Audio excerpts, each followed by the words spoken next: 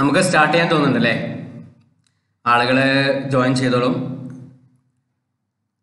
കുറച്ച് ദിവസങ്ങളായി നമ്മൾ കണ്ടിട്ട്. നിങ്ങളുടെ സീനിയേഴ്സിന് പ്രാക്ടിക്കൽ എക്സാമുകളായിരുന്നു അപ്പം അതുമായി ബന്ധപ്പെട്ട ഡ്യൂട്ടികളിലായിരുന്നു അപ്പം അതുകൊണ്ടാണ് കഴിഞ്ഞ ദിവസങ്ങളിൽ നമ്മൾ ലൈവിൽ വരാതിരുന്നത്. നമ്മൾ ഇന്ന് കൺസ്ട്രക്ഷൻ മെറ്റീരിയൽസ് ആൻഡ് എഞ്ചിനീയറിംഗ് നമ്മുടെ സി എം ഇ സബ്ജക്റ്റിന്റെ ആറാമത്തെ ക്ലാസ്സിലേക്കാണ് കടക്കുന്നത്. ലാസ്റ്റ് ക്ലാസ്സിൽ നമ്മൾ സ്റ്റോപ്പ് ചെയ്തത് ഈ കിൽന് ബേണിംഗ് എന്നുള്ള ഈ ഒരു ഭാഗത്താണ്. നമുക്കറിയാം ബ്രിക്സ് എന്ത് ചെയ്യണം? അത് ബേൺ ചെയ്ത് കഴിഞ്ഞാലേ അതിന് ആവശ്യമായ സ്ട്രെങ്ത് കിട്ടുള്ളൂ. അതിന്റെ നാല് സ്റ്റേജുകൾ നമ്മൾ പഠിച്ചിട്ടുണ്ട്. എന്താണ്? ഫസ്റ്റ് അത് പ്രിപ്പയർ ചെയ്യണം. പ്രിപ്പയർ ചെയ്തതിന് ശേഷം അത് മോൾഡിലേക്ക് എന്ത് ചെയ്യണം? നമ്മൾ ഫില്ല് ചെയ്യണം. ഈ മോൾഡ് എന്ന് വെച്ചാൽ ഏകദേശം റെക്റ്റാങ്കുലർ ഷേപ്പ് ആയിരിക്കും. അതിൽ ആ ബ്രിക്കിന്റെ അതേ ഷേപ്പ് ആയിരിക്കും. അതിലിട്ട് എന്ത് ചെയ്യും? ആ അച്ച് അല്ലെങ്കിൽ ആ മോൾഡ് നമ്മൾ മാറ്റും. ശേഷം അത് ഡ്രൈ ചെയ്യാൻ വേണ്ടി വിടും. ചിലപ്പോൾ സൺഡ്രൈഡ് ആയിരിക്കും. പുറമെ ഒരു വിശാലമായ ഗ്രൗണ്ടിൽ എന്ത് ചെയ്യാം? അതിങ്ങനെ വിട്ട് വിട്ട് വെക്കാം. അതിന് ശേഷമുള്ള സ്റ്റെപ്പാണ് ബേണിംഗ് ഈ ബേണിങ്ങിന്റെ സമയത്താണ് ഈ ക്ലേ എന്നുള്ള ക്യാരക്ടറിൽ വിട്ട് അതെന്ത് ചെയ്യുന്നത്? ബ്രിക്ക് എന്നുള്ള ഒരു ക്യാരക്ടറിലേക്ക് മാറി വരുന്നത്. ഇപ്പൊ ബേണിങ്ങിന്റെ ആദ്യത്തെ തരം നമ്മൾ പഠിച്ചിട്ടുണ്ട്. ക്ലാം ബേണിംഗ് നമ്മൾ പഠിച്ചു. അഥവാ അതിന് മറ്റൊരു പേരായിരുന്നു ഓപ്പൺ കിൽൻ ബേണിംഗ് നമ്മൾ ജസ്റ്റ് ഒന്ന് നമ്മുടെ സിലബസ് നമ്മൾ ഇതുവരെ കവർ ചെയ്ത ഭാഗങ്ങൾ ഇപ്പൊ നിങ്ങൾ സ്ക്രീനിൽ കാണുന്ന ഈ ഒരു ഭാഗം ഫസ്റ്റ് മൊഡ്യൂൾ കംപ്ലീറ്റ് ഇല്ല. ഫസ്റ്റ് മൊഡ്യൂളിന്റെ ഏതാനും ഭാഗങ്ങളെ ആയിട്ടുള്ളൂ. ഏകദേശം ഇത്ര തന്നെ ഇനിയും എന്ത് ചെയ്യാനുണ്ട്? നമുക്ക് പഠിക്കാനുണ്ട്. അപ്പൊ അതിൽ ക്ലേ പ്രൊഡക്ട്സിൽ പെട്ട ആദ്യത്തെ പ്രൊഡക്റ്റ് ആയിരുന്നു ബ്രിക്ക് അതിൽ ഏകദേശം ഈ ഒരു സ്ഥലം വരെയാണ് നമ്മൾ ഡിസ്കസ് ചെയ്ത ഭാഗം. ബാക്കി ഭാഗങ്ങൾ എന്ത് ചെയ്യാനുണ്ട്? ഇന്ന് ബ്രിക്സുമായിട്ട് ബന്ധപ്പെട്ട കാര്യങ്ങൾ വൈൻഡപ്പ് ചെയ്യണം എന്നാണ് വിചാരിക്കുന്നത്. അപ്പോൾ ചിലപ്പോൾ കുറച്ച് സമയം അധികം എടുക്കും. നമ്മൾ എന്ത് ചെയ്യുക ജസ്റ്റ് ഒന്ന് ടൈം ഒന്ന് നോട്ട് ചെയ്യാം. നമ്മൾ ഒരു രണ്ട് പീരീഡ് ക്ലാസ് എടുക്കുകയാണെന്ന് എന്ത് ചെയ്യുക മനസ്സിൽ വിചാരിക്കുക. നിങ്ങളെ പ്രയാസങ്ങളൊക്കെ നിങ്ങൾ ഞങ്ങൾ മനസ്സിലാക്കുന്നുണ്ട്. മൊബൈൽ സ്ക്രീനിൽ എന്ത് ചെയ്യാൻ പറ്റില്ല അധിക സമയം നോക്കിയിരിക്കാൻ നല്ല പ്രയാസം ഉണ്ടെന്ന് അറിയാം. എന്നാലും എന്ത് ചെയ്യണേ? നമ്മുടെ സാഹചര്യവും ഒക്കെ ഉൾക്കൊണ്ട് നമ്മൾ എന്ത് ചെയ്യാണ്? ഇന്നത്തെ ക്ലാസ്സിലേക്ക് പ്രവേശിക്കണം നമ്മൾ നേരത്തെ പഠിച്ചത് രണ്ട് തരം ബേണിങ്സ് ഉണ്ട്. ക്ലാം ബേണിംഗും ഉണ്ട് കിൽന് ബേണിംഗും ഉണ്ട്. ക്ലാം ബേണിംഗ് എന്ന് വെച്ചാൽ അതിന്റെ മറ്റൊരു പേരാണ് എന്ത്? ഓപ്പൺ കിൽൻ ബേണിംഗ് അതിനൊരു ട്രെപ്പിസോഡൽ സെക്ഷൻ ആയിരിക്കും ഉണ്ടാവുക. അതിന് ഒരു ഫിഫ്റ്റീൻ ഡിഗ്രി ഇൻക്ലിനേഷൻ ഉണ്ടാവും ഹൊറിസോണ്ടലായിട്ട് അതിൽ എന്ത് ചെയ്യും? ഫിയൽ അതുപോലെ ബ്രേക്ക്. ഇങ്ങനെ ആൾട്ടർനേറ്റ് ആയിട്ട് നമ്മൾ എന്ത് ചെയ്യും? പ്ലേസ് ചെയ്യും അതിൽ ബേൺ ചെയ്യും കാര്യങ്ങളൊക്കെ നമ്മൾ കഴിഞ്ഞ ക്ലാസ്സിൽ ഡിസ്കസ് ചെയ്തു. ഇനി നമുക്ക് ഈ ഒരു ക്ലാസ്സിൽ പഠിക്കാനുള്ളത് കിൽൻ ബേണിംഗ് ആണ്. ക്ലാസ്സുകൾ ശ്രദ്ധിക്കുക അനാവശ്യമായിട്ടുള്ള സ്മൈലി കാര്യങ്ങളൊന്നും ഇപ്പം ആരും ചെയ്യരുത് നമ്മുടെ ചാറ്റ് ബോക്സിൽ ഇടരുത്. ഞാൻ കുറഞ്ഞ സമയം കഴിഞ്ഞാൽ എന്ത് ചെയ്യാം അറ്റൻഡൻസ് വിളിക്കാം. ഏകദേശം ഒന്ന് ആളുകളാവട്ടെ. നമ്മൾ സ്റ്റാർട്ടിങ്ങിൽ തന്നെ വിളിക്കാത്തത് എന്താണ്? ചില ആളുകൾക്കെങ്കിലും നെറ്റിന്റെ ഇഷ്യൂ ഉണ്ടാകാൻ സാധ്യതയുണ്ട്. അപ്പം നമ്മൾ ഇതുമായിട്ട് ബന്ധപ്പെട്ട് ഒരു ക്യുസ് ഈ ക്ലാസ്സുമായിട്ട് ബന്ധപ്പെട്ട് എന്ത് ചെയ്യും? നമ്മൾ അപ്ലോഡ് ചെയ്യും. അത് എന്ത് ചെയ്യണം? ഈ ക്ലാസ്സിന് ശേഷം നിങ്ങൾ ചെയ്യണം. അതിലാണ് നിങ്ങൾക്കുള്ള അറ്റൻഡൻസ് അപ്പോൾ ഈ ക്ലാസ് കൃത്യമായിട്ട് കേൾക്കണം. നോട്ട് കൃത്യമായിട്ട് ഉണ്ടാക്കണം. ഇന്നത്തെ ക്ലാസ്സിൽ ഒരു അസൈൻമെന്റ് വർക്ക് തരണം എന്ന് വിചാരിക്കുന്നുണ്ട്. ഒരു പ്യുവർ അസൈൻമെന്റ് നേരത്തെ നമ്മൾ ചെയ്തതുപോലത്തെ ക്യുസ് അല്ല. നമുക്ക് ചെയ്യാനും വരക്കാനൊക്കെ ഉള്ള ഒരു വർക്കായിട്ട് തന്നെ ചെയ്യണം എന്ന് വിചാരിക്കുന്നുണ്ട്. അപ്പോൾ നമ്മൾ ഇന്നത്തെ ഏറ്റവും പ്രധാനപ്പെട്ട രണ്ട് സംഗതികളാണ്. കിൽ ബേണിങ്ങിനെ നമുക്ക് രണ്ടായിട്ട് തിരിക്കാം. ഒന്ന് ഇന്റർമിറ്റന്റ് കിൽസും രണ്ടാമത് കണ്ടിന്യൂസ് കിൽസും ആ പേരിൽ തന്നെ ഉണ്ട് ഇന്റർമിറ്റന്റ് എന്താണ്? ഇന്റർമിഷൻ എന്നൊക്കെ പറഞ്ഞാൽ എന്താ? ഇന്റർമിഷൻ എന്ന് വെച്ചാൽ ഒരു ബ്രേക്ക് ആണ് അല്ലേ? ഇങ്ങനെ കണ്ടിന്യൂ ചെയ്ത് പോകുന്നതിന്റെ ഇടയിൽ എന്ത് ചെയ്യും? ഒരു ബ്രേക്ക് ഫിലിംസിലൊക്കെ കാണാൻ നിങ്ങൾക്ക്. ഒരു പ്രത്യേക സ്ഥലത്ത് കഴിഞ്ഞാൽ എന്ത് ചെയ്യും? ഇന്റർമിഷൻ അല്ലെങ്കിൽ ഇന്റർവെൽ എന്നൊക്കെ പറയും. അതെന്താണ്? ഒരു ബ്രേക്കാണ് ഒരു ഷോർട്ട് ബ്രേക്കാണ്. അപ്പൊ അങ്ങനെ ഫയറിങ്ങിന്റെ കേസ് എടുക്കുന്ന സമയത്ത് അതാ അതായത് ഇത് ചൂളക്ക് വെക്കുന്ന സമയത്ത് അതിന് ചെറിയ ഗ്യാപ്പുകൾ കൊടുക്കുന്നുണ്ടെങ്കിൽ ഇപ്പൊ ഒരു പ്രാവശ്യം ഒരു ഒരു ഉണ്ട് ഞാൻ സാറേ ഞാനേ ക്ലാസ്സിലാണ്. ഞാൻ ക്ലാസ് കഴിഞ്ഞിട്ട് വിളിക്കാം കേട്ടോ. ശരി. ക്ലാസ്സിലാകുമ്പോൾ ഫോൺ എടുക്കാൻ പറ്റില്ല പക്ഷെ എന്താണ്? അത് ഷജുൽ സാറായിരുന്നു. ചില അത്യാവശ്യങ്ങളുള്ളത് കൊണ്ടാണ് ഞാൻ ഇത് കഴിഞ്ഞിട്ട് തിരിച്ചു വിളിക്കാമെന്ന് പറഞ്ഞിട്ടുണ്ട്. നമ്മൾ കണ്ടിന്യൂ ചെയ്യാം. ഇപ്പം രണ്ട് പ്രധാനപ്പെട്ട കിൽസ് ആണ് നമ്മൾ പറഞ്ഞത്. ഒന്ന് ഇന്റർമിറ്റന്റ് കിൽസും രണ്ടാമത്തത് കണ്ടിന്യൂസ് കിൽസുമാണ് ഇന്റർമിറ്റന്റ് എന്ന് വെച്ചാൽ ഫയറിങ് എന്തായിരിക്കും? ഒരു ഗ്യാപ്പ് വിട്ടിട്ടായിരിക്കും ഇത് നടക്കുക. അതായത് ഫയറിങ് കഴിഞ്ഞു പിന്നെ കുറച്ച് സമയം കൂളിങ്ങിന് എന്ത് ചെയ്യേണ്ടി വരും? നമ്മൾ അനുവദിച്ചു കൊടുക്കേണ്ടി വരും. എന്നാൽ കണ്ടിന്യൂസ് സ്കിൽസ് എന്ന് വെച്ചാൽ അതെന്ത് ചെയ്യും? കണ്ടിന്യൂസ് ആയിട്ട് ഇങ്ങനെ നടന്നുകൊണ്ടേയിരിക്കും. ഒരു സ്ഥലത്ത് ചിലപ്പോൾ ബേണിംഗ് ആയിരിക്കും മറ്റൊരു സ്ഥലത്ത് ഫയറിംഗ് നടക്കും. ഒരു സ്ഥലത്ത് ഫയറിംഗ് ആണെങ്കിൽ മറ്റൊരു സ്ഥലത്ത് ലോഡിങ് നടക്കും. അങ്ങനെ ഓരോരോ സ്ഥലത്ത് എന്ത് ചെയ്യും? ഇതിന്റെ എല്ലാ പ്രോസസ്സുകളും നടക്കും.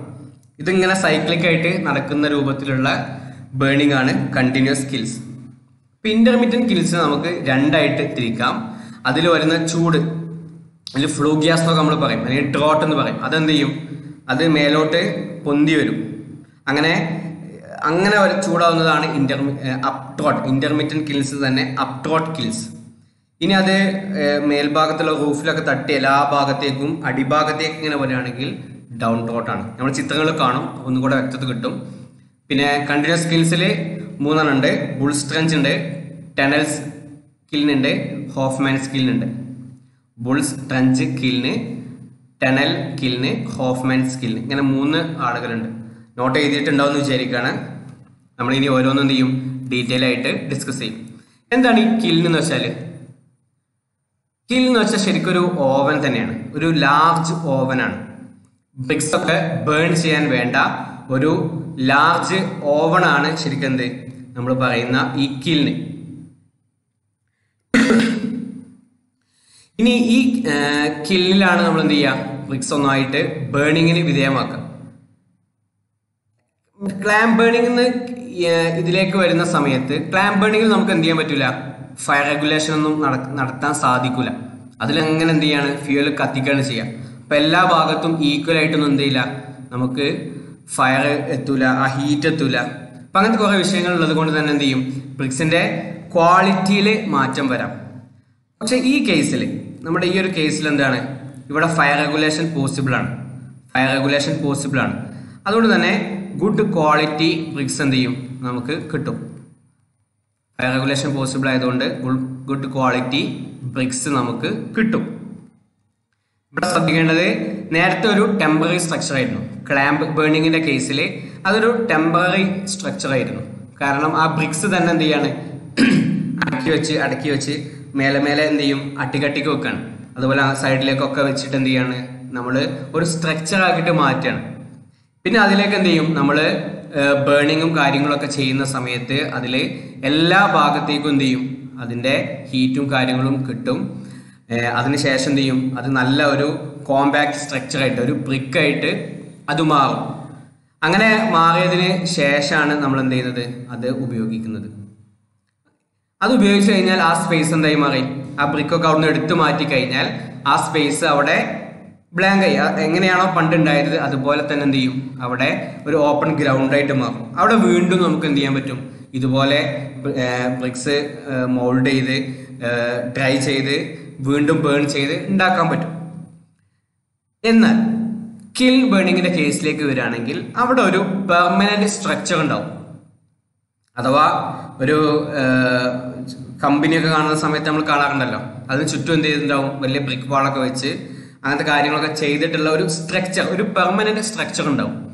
അഥവാ ബ്രിക്സ് വെച്ചിട്ട് ഒരു സ്ട്രക്ചർ ഉണ്ടാവുകയല്ല ചെയ്യുക പകരം ഓൾറെഡി ഉള്ള ഒരു സ്ട്രക്ചറിന്റെ ഉള്ളിലാണ് നമ്മൾ എന്ത് ചെയ്യുക ഈ ബ്രിക്സിന്റെ ബാക്കി പ്രോസസ്സുകളും കാര്യങ്ങളൊക്കെ ചെയ്യുക അതാണ് ഈ കിൽ ബേണിങ്ങിലുള്ള ഒരു പ്രത്യേകത. പെർമനന്റ് സ്ട്രക്ചർ ആയിരിക്കും. അതുപോലെ കപ്പാസിറ്റിയാണ് നേരത്തെ നമ്മൾ പറഞ്ഞു ഒരു രണ്ടായിരം മുതൽ എന്ത് ചെയ്യാം? ഒരു ലക്ഷം വരെയൊക്കെ ചിലപ്പോൾ എന്ത് ചെയ്യാം? ഈ ക്ലാമ്പ് ബേണിങ്ങിൽ അതിന്റെ സൈസ് ആ ഗ്രൗണ്ടിന്റെ സൈസിനനുസരിച്ചിട്ട് നമുക്ക് എന്ത് ചെയ്യാൻ പറ്റും? അതിന്റെ കപ്പാസിറ്റി കൂട്ടാനൊക്കെ പറ്റും. പക്ഷെ അതിൽ ഒരേ ക്വാളിറ്റി കിട്ടില്ല എന്നതായിരുന്നു നമ്മുടെ വലിയ വിഷയം. എന്നാൽ ഇവിടെ ഇരുപത്തി അയ്യായിരം വരെയൊക്കെ എന്ത് ചെയ്യാൻ പറ്റും? നമുക്ക് ഒറ്റ സമയത്ത് ചെയ്യാൻ പറ്റും. ഗിൽ ബേണിങ് രണ്ട് രൂപത്തിലുണ്ട് കണ്ടിന്യൂസും ഉണ്ട് ഇന്റർമീഡിയറ്റും ഉണ്ട്. അപ്പൊ കണ്ടിന്യൂസ് ആയിട്ട് ഇങ്ങനെ ഇരുപത്തി അയ്യായിരം ഉണ്ടായി കിട്ടുകയാണെന്ന് പറഞ്ഞാൽ കുറഞ്ഞ സമയം കൊണ്ട് എന്ത് ചെയ്യും? ഇത്തരം സംഗതികൾ കിട്ടും. അപ്പൊ ഇതാണ് ശരിക്കും ഒന്നുകൂടെ ക്ലാം ബേണിങ്ങിനേക്കാൾ ഒന്നുകൂടി അഡ്വാൻസ്ഡ് ആയിട്ടുള്ളതും ഒന്നുകൂടെ വേഗത്തിൽ നമുക്ക് ബ്രിക്സും കാര്യങ്ങളും ലഭിക്കാൻ സാധ്യമാക്കുന്നതും ഇത്തരം കിൽ ബേണിംഗ് ആയിരിക്കും. ഈ ഒരു ചിത്രം ശ്രദ്ധിക്കാം. ഇതിൽ ചെയ്തിട്ടുണ്ട്? ഒരുപാട് സെറ്റുകൾ ഇപ്പൊ ഈ ബ്രിക്കുകൾ നോക്കാം. കണ്ട? അങ്ങോട്ടേക്കും രണ്ട് കുറച്ച് അങ്ങോട്ടേക്ക് വെക്കും കുറച്ച് ഇങ്ങോട്ടേക്ക് വെക്കും. ഇടയിൽ എന്ത് ചെയ്യും? ചെറിയ ഹോൾസ് ഉണ്ടാവും. ആ ഹോൾസിലൂടെ ആയിരിക്കും എന്ത് ചെയ്യുക? ഇതിലെ ഫ്ലൂ ഗ്യാസുകൾ അഥവാ ബേൺ ബേൺ ചെയ്യുന്ന സമയത്ത് ഫയറിങ് ചെയ്യുന്ന സമയത്ത് എന്ത് ചെയ്യും? ഈ ഹീറ്റ് എന്ത് ചെയ്യണം? അതിന്റെ എല്ലാ ഭാഗത്തേക്കും സഞ്ചരിക്കണം. എന്നാൽ മാത്രമേ എന്ത് ചെയ്യുള്ളൂ? ആ ക്ലേ എന്നുള്ള ഘട്ടത്തിൽ നിന്ന് മാറിയിട്ട് അതൊരു ബ്രിക്ക് ആയിട്ട് മാറുള്ളൂ. നല്ല സ്ട്രോങ് കോമ്പാക്റ്റ് ആയിട്ടുള്ള ഒരു സ്ട്രക്ചർ ആയിട്ട് അത് മാറുള്ളൂ. അപ്പോൾ ഇങ്ങനെ എന്ത് ചെയ്യും? നമ്മൾ വ്യത്യസ്ത അട്ടികളായിട്ട് വെക്കും. കണ്ടില്ലേ? ഇങ്ങനെ അട്ടികളായിട്ട് നമ്മൾ വെക്കും. ഏകദേശം കുറച്ച് ഒരു അഞ്ചാറ് അട്ടികളൊക്കെ നമ്മൾ എന്ത് ചെയ്യും? ഇങ്ങനെ വെക്കും. അതൊരു സെറ്റാണ് ഇങ്ങനത്തെ ഓരോ സെറ്റുകളാക്കിയിട്ടാണ് വെക്കുക. എന്നിട്ട് ഇത് എന്ത് ചെയ്യാണ്? നമ്മളൊരു ഓവൻ ഒരു ലാർജ് ഓവൻ അഥവാ ഈ കില്ലിന്റെ ഉള്ളിലേക്ക് നമ്മൾ അയക്കുകയാണ് ചെയ്യുക. അപ്പോൾ അത് എന്ത് ചെയ്യും? ചൂടാവും. അതിന് ചൂടൊക്കെ വെക്കുന്നതാണ് നമ്മൾ പറയലേ. അപ്പം നന്നായിട്ട് ചൂടായിട്ട് എന്ത് ചെയ്യും? അതിന് സ്ട്രെങ്ത്തും കാര്യങ്ങളും കിട്ടും. ഇനി ഇതാണോ ഇത് ആ കില്ലിലേക്ക് കയറ്റുകയാണ്. അതിന് നമ്മളിവിടെ ട്രോളി കാര്യങ്ങളൊക്കെ ഉണ്ടാവും. ഇവിടെ ഇതൊരു ട്രോളിയാണ് കണ്ടില്ലേ? ഇവിടെ നമുക്ക് ട്രോളീസ് കാണാം. ഈ ട്രോളിയിലൂടെ വേണം എന്ത് ചെയ്യാൻ?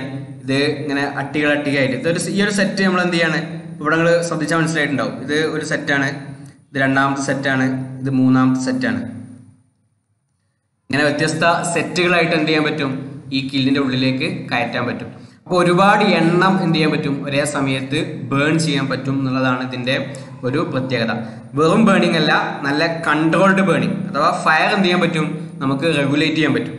ഫയർ റെഗുലേറ്റ് ഒക്കെ ചെയ്യണമെന്നുണ്ടെങ്കിൽ അതിനെ കുറിച്ച് വിവരങ്ങളുള്ള നല്ല സ്കില്ലഡ് ആയിട്ടുള്ള ലേബേഴ്സും നമുക്ക് ആവശ്യമാണ്. എന്നാൽ പണ്ട് clamp burning first case clamp burning ആയിരുന്നു. ആ ക്ലാമ്പ് ബേണിംഗിൽ എന്തിന്റെ ആവശ്യമില്ല? വലിയ സ്കില്ലഡ് ലേബേഴ്സിന്റെ ഒന്നും ആവശ്യമില്ല. നാട്ടിലെ സാധാരണ എന്ത് ചെയ്യുക? ഇതിങ്ങനെ പരിചയമുള്ള ആളുകൾ ഉണ്ടായാൽ മതി. അതിന് ഒരു സ്കില്ല് പ്രത്യേക സ്കില്ല് ആവശ്യമില്ല. അതിലെന്ത് ചെയ്യുക? ആ ബ്രിക്ക് അവിടെ കൊണ്ടുപോയി വെക്കുക. അതിന് ഫയർ ചെയ്യുക. അങ്ങനെ എന്ത് ചെയ്യുക? അതിന്റെ സ്കില്ല് പ്രോപ്പർ ആയിട്ടുള്ളത് അത്യാവശ്യമല്ല. പക്ഷേ കില്ലിന്റെ കേസിൽ അത് കൂടിക്കഴിഞ്ഞാൽ എന്ത് ചെയ്യും? പ്രശ്നമാണ് കുറഞ്ഞു കഴിഞ്ഞാൽ പ്രശ്നമാണ് അപ്പോൾ അത് ഫയറൊക്കെ റെഗുലേറ്റ് ചെയ്ത് മെഷീനറിയൊക്കെ ഓപ്പറേറ്റ് ചെയ്യാൻ അറിയുന്ന ആളുകളാവണം.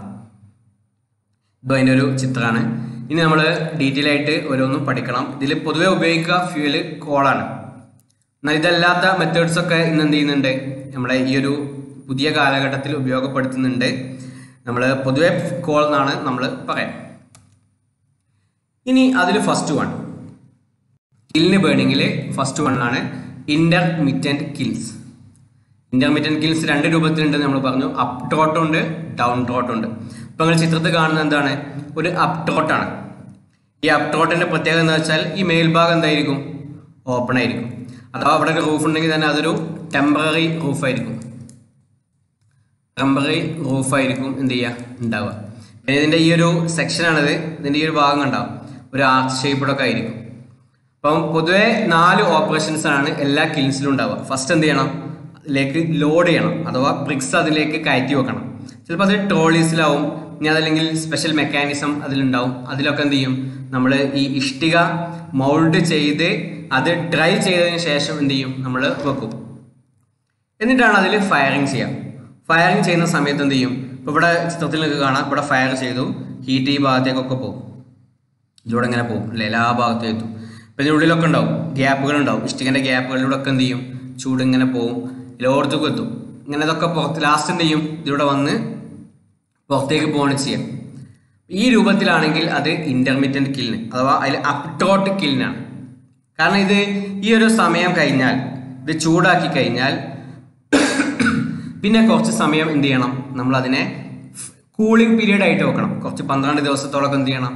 നമ്മൾ കൂളിങ്ങിന് വെക്കണം. ആ കൂളിങ്ങിന്റെ സമയത്ത് ശരിക്കും എന്താണ്? ഒരു നിശ്ചലാവസ്ഥയാണ്. ആ പ്രോസസ്സ് കഴിഞ്ഞിട്ട് വേണം അടുത്ത സെറ്റ് നമ്മൾ അതിലേക്ക് കയറ്റാൻ വേണ്ടിയിട്ട്. ഒരു സെറ്റ് ചെയ്ത് ഒരു പന്ത്രണ്ട് മുതൽ പതിനഞ്ച് ദിവസമൊക്കെ കഴിഞ്ഞിട്ട് എന്ത് ചെയ്യാൻ പറ്റുള്ളൂ? നമുക്ക് അടുത്ത ഒരു സെറ്റ് ഇതിലേക്ക് ലോഡ് ചെയ്യാൻ പറ്റുള്ളൂ. അപ്പൊ ഇങ്ങനെ ഒരു ബ്രേക്ക് വന്നു അല്ലേ? ഈ പ്രോസസ്സിന്റെ ഇടയിൽ എന്ത് ചെയ്യുന്നുണ്ട്? ഒരു ബ്രേക്ക് ഒരു ടൈം ഗ്യാപ്പ് വരുന്നുണ്ട്. ആ ഗ്യാപ്പ് വരുന്നത് കൊണ്ടാണ് ഇതിന് ഇന്റർമീഡിയറ്റ് കിൽസ് എന്നൊക്കെ പറയുന്നത്.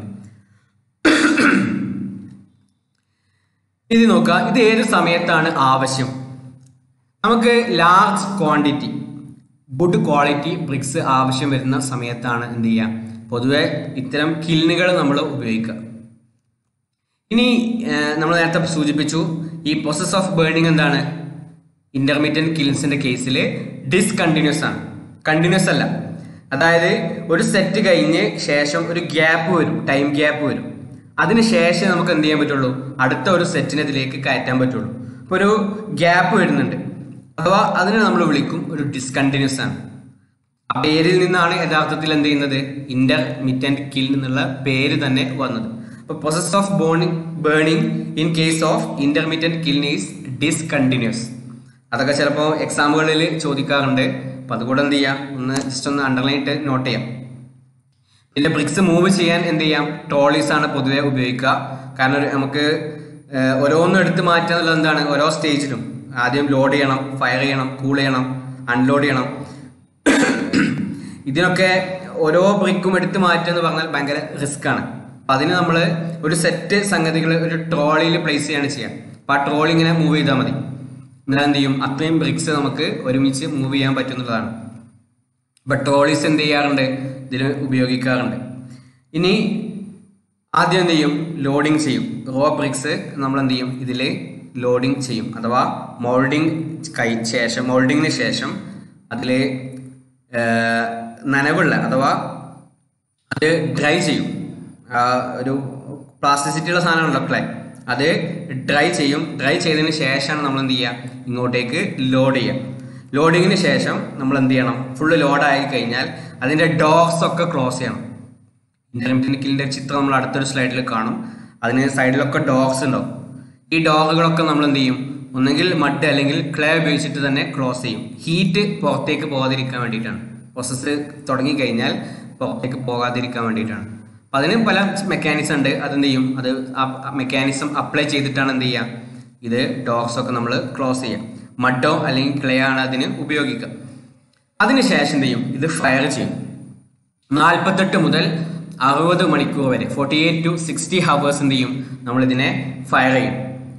ഫയർ ചെയ്ത് കഴിഞ്ഞാൽ എന്ത് ചെയ്യും? ഇത് ശരിക്ക് ഹാർഡായിട്ടുണ്ടാവും ബ്രിക്ക് പക്ഷെ അത് നമുക്ക് ഉപയോഗിക്കണം എന്നുണ്ടെങ്കിൽ അത് ഒരു പീരീഡ് എന്ത് ചെയ്യണം? കൂൾ ചെയ്യണം. ഇതിന്റെ കൂളിംഗ് പീരീഡ് ട്വൽവ് ഡേയ്സ് ആണ്. അതായത് ഏകദേശം പന്ത്രണ്ട് മുതൽ പതിനഞ്ച് ദിവസം കഴിഞ്ഞിട്ടേ നമുക്ക് എന്ത് ചെയ്യാൻ പറ്റുള്ളൂ? അടുത്ത ഒരു സെറ്റ് ഇതിലേക്ക് കയറ്റാൻ പറ്റുള്ളൂ. ഈ കൂളിംഗ് പീരീഡ് കഴിഞ്ഞാൽ എന്ത് ചെയ്യും? ഈ ബ്രിക്സ് ആ സെറ്റ് ബ്രിക്സ് എന്ത് ചെയ്യും? നമ്മൾ പുറത്തേക്ക് എടുക്കും. എന്നിട്ട് അടുത്ത സെറ്റ് നമ്മൾ അതിലേക്ക് കയറ്റും. ഇതുപോലെ എന്ത് ചെയ്യും? വീണ്ടും ഫയർ ചെയ്യും. അത് തണുപ്പി തണുപ്പിക്കും. വീണ്ടും അത് പുറത്തേക്ക് എന്ത് ചെയ്യും? എടുക്കും. അപ്പോൾ അടുത്ത സെറ്റ് ലോഡ് ചെയ്യും. ഈ ഒരു പ്രോസസ്സ് എന്ത് ചെയ്യും? ഇങ്ങനെ റിപ്പീറ്റ് ചെയ്യും. അപ്പോൾ ഓരോ പതിനഞ്ച് ദിവസത്തിലും എന്ത് ചെയ്യുന്നുണ്ട്? നമുക്ക് ഏകദേശം ഇരുപത്തി അയ്യായിരം വരുന്ന സെറ്റുകൾ നമുക്ക് ഇങ്ങനെ മാറ്റി മാറ്റി കിട്ടും. അതാണ് ഇതിന്റെ ഒരു ഗുണം. ഇനി നോക്കാം. ഇന്റർമീഡിയറ്റ് കിൽസിൽ തന്നെ നമ്മൾ പറഞ്ഞു രണ്ട് രൂപത്തിലുണ്ട്. ഒന്ന് അപ് ഡോട്ട് കിൽസ് ഉണ്ട് അതുപോലെ ഡൗൺ ഡോട്ട് കിൽസ് ഉണ്ട്. നമ്മുടെ ചിത്രത്തിൽ കാണിച്ച എന്താണ്? അപ് ഡ്രോട്ട് കിലിനാണ് നേരത്തെ നമ്മൾ ഡിസ്കസ് ചെയ്തു. അതിലെന്ത് ചെയ്യും? ഈ രൂപത്തിൽ അടിഭാഗത്ത് നിന്ന് എന്ത് ചെയ്യും? ഹീറ്റ് വന്ന് ഓരോ ബ്രിക്സിന്റെയും ഉള്ളിലൂടെ പോകും. അപ്പോൾ ഈ ഫ്ലൂ എന്നാണ് നമ്മൾ പറയാം. ഈ ഹോട്ട് ഗ്യാസുകൾ എന്ത് ചെയ്യും? ഈ ഫ്ലൂ ആണ് അതിനിങ്ങനെ ക്യാരി ചെയ്യുക. എല്ലാ ഭാഗത്തേക്കും എന്ത് ചെയ്യും? ഒരു ഇങ്ങനെ ക്യാരി ചെയ്യും. അങ്ങനെയാണ് ഈ ബ്രിക്ക് എന്തായി മാറുന്നത്? ഹാർഡ് ഒരു കോമ്പാക്റ്റ് ആയിട്ട് മാറുന്നത്. നോക്കുക. നോക്കാം പൊതുവെ ഇതിന്റെ ഒരു സ്ട്രക്ചർ ഇത് ഷേപ്പ് എന്തായിരിക്കും? റെക്റ്റാങ്കുലർ ഷേപ്പ് ആയിരിക്കും. എന്നാൽ അതിന്റെ സെക്ഷനിന്റെ എന്തായിരിക്കും? സെക്ഷന്റെ ടോപ്പ് ഭാഗത്ത് ഒരു ആർച്ച് ഷേപ്പ്ഡ് ആയിരിക്കും. ഈ ചിത്രത്തിൽ കാണാം. അത് കാണുന്നത് സെക്ഷനാണ് അപ്പോൾ ഫ്ലോ എന്ത് ചെയ്യും? ഈ ഹോട്ട് ഗ്യാസിന് എല്ലാ ഭാഗത്തേക്കും ഇങ്ങനെ ക്യാരി ചെയ്യും. നമ്മൾ സൂചിപ്പിച്ചു ഇതിന് ഒരു ടെമ്പററി റൂഫ് ഉണ്ടാവുള്ളൂ. പെർമനന്റ് ആയിട്ടുള്ള റൂഫ് ഉണ്ടാവില്ല. ആ ഷേപ്പിലായിരിക്കും അതിന്റെ ടോപ്പ് ഭാഗത്ത് എന്ത് ചെയ്യാം? നിങ്ങൾക്ക് കാണാം. അവിടെ എന്ത് ചെയ്തിട്ടുണ്ട്? ഒരു റൂഫ് കാണാം. ഈ റൂഫ് ശരിക്ക് റെയിൻ ഫയർ ചെയ്യുന്ന സമയത്ത് റെയിൻ അഥവാ മഴ പെയ്യുകയാണെങ്കിൽ ആ സമയത്ത് ക്ലോസ് ചെയ്യാൻ വേണ്ടിയിട്ടാണ്. അല്ലാത്ത സമയത്തൊക്കെ എന്ത് ചെയ്യും? ചൂടാക്കിയിട്ട് ചൂട് നേരെ പുറത്തേക്ക് പോവുകയാണ് ചെയ്യുക. നമ്മൾ പറയും ഇതൊരു ടെമ്പററി റൂഫാണ് അതുപോലെ തന്നെ ബ്രിക്ക് റോ തിക്നെസ് ഓരോ റോന്റെയും തിക്നെസ് എന്താണ്? ഒരു രണ്ട് മൂന്ന് ബ്രിക്സിന്റെ വലിപ്പം ഉണ്ടാവുള്ളൂ. പിന്നെ നമ്മൾ ചെറിയൊരു ഗ്യാപ്പ് ഇടും. ഈ ചിത്രത്തിൽ നിങ്ങൾക്ക് കാണാം. ഇതൊക്കെ ബ്രിക്ക് വാളാണ് അതിനുശേഷം ഇവിടെ ഒരു ഡോർ ഉണ്ടാവും. ഇവിടെ നമ്മൾ ബ്രിക്സ് എന്ത് ചെയ്യും? പല രൂപത്തിൽ ഇങ്ങനെ അറേഞ്ച് ചെയ്യും. ഇങ്ങോട്ടേക്കും അങ്ങോട്ടും ഇങ്ങോട്ടൊക്കെ ഉണ്ടാവും. എല്ലാ ഭാഗത്തേക്കും ഉണ്ടാവും. അതിന്റെ ഇടയിൽ കൂടെ ഒക്കെ എന്ത് ചെയ്യും? ഗ്യാപ്പുകളും ഉണ്ടാവും. അതിനുശേഷം ഒരു സ്പേസ് നമ്മൾ ഇടും. അവിടെയാണ് നമ്മൾ എന്ത് ചെയ്യുക? ഫ്യൂവൽ ഫ്യൂവലും കാര്യങ്ങളൊക്കെ വെക്കുക അപ്പോൾ ഇവിടെ ഈ ഗ്യാപ്പുകളിലായിരിക്കും ഫ്യൂവൽ ഉണ്ടാവും ഈ ഗ്യാപ്പുകളിലൊക്കെ ഫ്യൂവൽ ആയിരിക്കും. അത് ബേൺ ചെയ്യും. ആ ബേൺ ചെയ്യുന്ന സമയത്ത് ഈ ഫ്ലൂ എന്ത് ചെയ്യും? ഈ ഹോട്ട് ഗ്യാസിന് എല്ലാ ഭാഗത്തേക്കും ഭാഗത്തേക്കൂടി ഇങ്ങനെ കൊണ്ടുപോകും.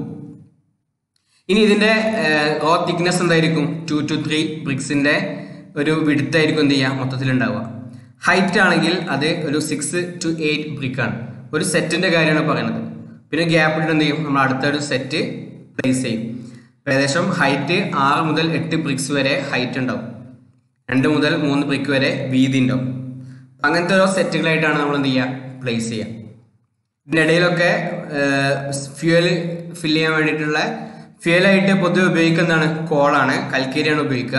അപ്പം അതിനുള്ള സ്പേസ് ഒന്ന് ചെയ്തിട്ടുണ്ടാവും അവിടെ കൊടുക്കും. ഒരു രണ്ട് ബ്രിക്സിന്റെ സ്പേസ് ആണ് പൊതുവെ അതിന് കൊടുക്കുക. ഒരു മൂന്ന് ബ്രിക്ക് നേരെ വെച്ചു. ശേഷം രണ്ട് ബ്രിക്ക് എന്ത് ചെയ്യും? ഇവിടെ വെക്കാനുള്ള സ്പേസ് നമ്മൾ കൊടുക്കും. ഇനി ടോപ്പ് ഷേ ടോപ്പിൽ എന്തായിരിക്കും? ഒരു ആർച്ച് ഷേപ്പ്ഡ് ആയിരിക്കും. അത് ഗ്യാസ് പ്രോപ്പറായിട്ട് ഇങ്ങനെ ഫ്ലോ ചെയ്യാൻ വേണ്ടിയിട്ടാണ് ആ ഒരു ഷേപ്പ് നമ്മൾ കൊടുക്കുന്നത്. ഇനി നേരത്തെ നമ്മൾ സൂചിപ്പിച്ചു ഇതിന്റെ ക്വാളിറ്റി എന്തായിക്കോളുന്നില്ല. യൂണിഫോം ആയിരിക്കണം എന്ന് നിർബന്ധമില്ല. കാരണം ഹീറ്റ് പല ഭാഗത്തും പല രൂപത്തിലാണ് കിട്ടുക. ഇത് കറക്റ്റായിട്ടുള്ളൊരു കൺട്രോളിങ് എന്താണ്? നമുക്ക് ബുദ്ധിമുട്ടാണ്. കാരണം താഴത്തുനിന്ന് കൊടുക്കുന്ന ചൂട് ഏതൊക്കെ രൂപത്തിലാണ് എല്ലാ ഭാഗത്തേക്കും എത്തുക എന്ന് നമുക്ക് പറയാൻ പറ്റില്ല. ശരിക്കും എല്ലാ ഭാഗത്തുനിന്നും ഫയറിങ്ങിനുള്ള ഓപ്ഷൻ ഉണ്ടെങ്കിൽ നമുക്ക് എന്ത് ചെയ്യാൻ പറ്റും? അത് കൺട്രോൾ ചെയ്യാനുള്ള ഓപ്ഷൻ ഉണ്ടെങ്കിൽ ഇത് നമുക്ക് യൂണിഫോം ആയിട്ടൊക്കെ കൊടുക്കാൻ പറ്റും. പക്ഷേ അപ്ഡോട്ട് കിൽസിന്റെ കേസിൽ താഴ്ന്ന് ഫയർ ചെയ്യും. ആ ചൂടാണ് എന്ത് ചെയ്യുക? മേൽഭാഗത്തേക്ക് എത്തുക. അതുകൊണ്ട് ഇതിൽ ഒരു കൃത്യമായിട്ട് ഫുള്ള് നമുക്ക് എന്ത് ചെയ്യില്ല? യൂണിഫോം ആയിട്ടുള്ളത് കിട്ടൂല.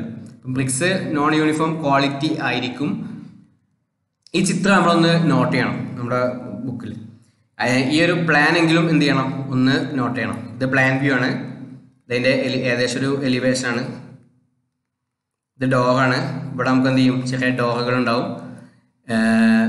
ഇവിടെ ഇതാണ് മെയിൻ ഡോർ ഇതിന്റെ ഈ ഒരു ഭാഗമാണ് ശരിക്കും എന്ത്? ഈ ആർക്ക് ഷേപ്പ് ഇതിന്റെ സെക്ഷൻ എടുത്തു കഴിഞ്ഞാൽ ഒരു ഈ ഒരു ഷേപ്പ് ആയിരിക്കും. ഈ ഒരു ചിത്രം നിങ്ങൾ വരച്ചെടുത്താൽ മതി. നമ്മൾ പരീക്ഷയ്ക്ക് വരക്കണം. ഈ ഒരു പ്ലാൻ നിർബന്ധമായിട്ട് എന്ത് ചെയ്യണം? നമ്മൾ വരക്കണം. ഇനി ബി രണ്ടാമത്തതാണ് ഡൗൺ ഡോട്ട് കിൽ ഈ കേസിൽ ശരിക്കും നേരത്തെ റൂഫ് എന്താണ്? ടെമ്പററി ആണ്. ഇവിടെ അതൊരു പെർമനന്റ് റൂഫ് ആയിരിക്കും. പിന്നെ ഷേപ്പ് ചിലപ്പോൾ സർക്കുലർ ആയിരിക്കും. ഇപ്പൊ ഈ അടിഭാഗത്തുള്ള ചിത്രത്തിൽ നിങ്ങൾക്ക് എന്ത് ചെയ്യാം? അത് കാണാം. അത് ഒന്നുകിൽ എന്തായിരിക്കും? ഈ ഒരു ഭാഗം ഇങ്ങനെ സർക്കുലർ ആണ് കേട്ടോ ഇത് ശരിക്കും ഒരു സർക്കുലർ ഷേപ്പാണ് ചിത്രം കണ്ടാൽ നമുക്ക് മനസ്സിലാവും. സർക്കുലർ ആണ്. റെക്ടാങ്കുലർ ഷേപ്പിലും എന്ത് ചെയ്യാം? ഉണ്ടാക്കാം. പ്രശ്നങ്ങളൊന്നുമില്ല. നേരത്തെ ചെയ്ത അതേ പ്രൊസീജിയേഴ്സും കാര്യങ്ങളും ഒക്കെ തന്നെയാണ്. വ്യത്യാസം എന്താണെന്ന് വെച്ചാൽ ഇവിടെ ഒരു പെർമനന്റ് റൂഫ് ആയിരിക്കും. ഇവിടെ നമ്മൾ ഈ ഒരു ഭാഗത്ത് ഫയറിങ് കൊടുത്തു കഴിഞ്ഞാൽ എന്ത് ചെയ്യും?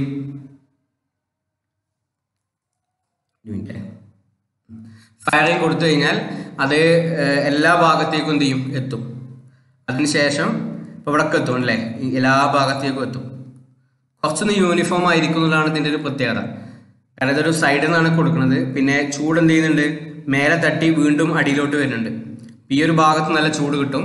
ഏകദേശം അത്ര തന്നെ ചൂട് എന്ത് ചെയ്യും? ഇവിടെ തട്ടി വീണ്ടും ഇങ്ങോട്ട് വരുന്നത് കൊണ്ട് അതിന് കിട്ടും. പിന്നെ ഇതിലൂടെ പോകുന്ന സമയത്തൊക്കെ എന്ത് ചെയ്യും? കുറച്ച് ഹീറ്റിലാട്ടും ഒക്കെ പോകും.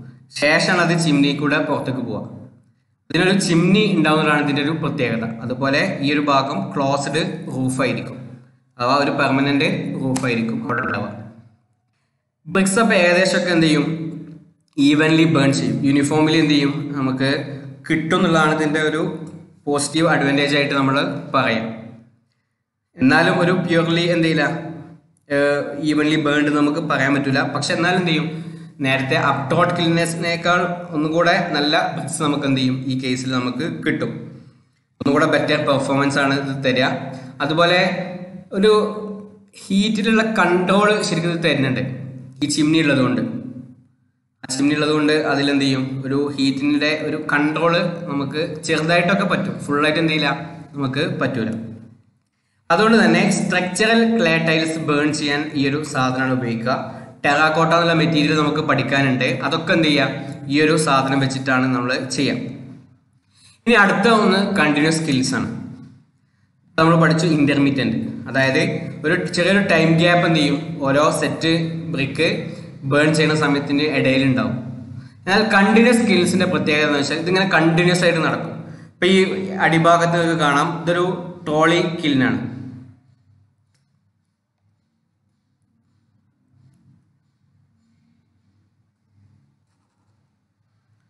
ഈ ഒരു ഭാഗം നോക്കാം. ഇതൊരു ട്രോളിയാണ് കണ്ടോ? ഈ ട്രോളി കൂടെ ഇങ്ങനെ ഓട്ടോമാറ്റിക്കലി എന്ത് ചെയ്യും? ഈ ട്രോളിയിൽ ബ്രിക്കുമായിട്ട് വരും.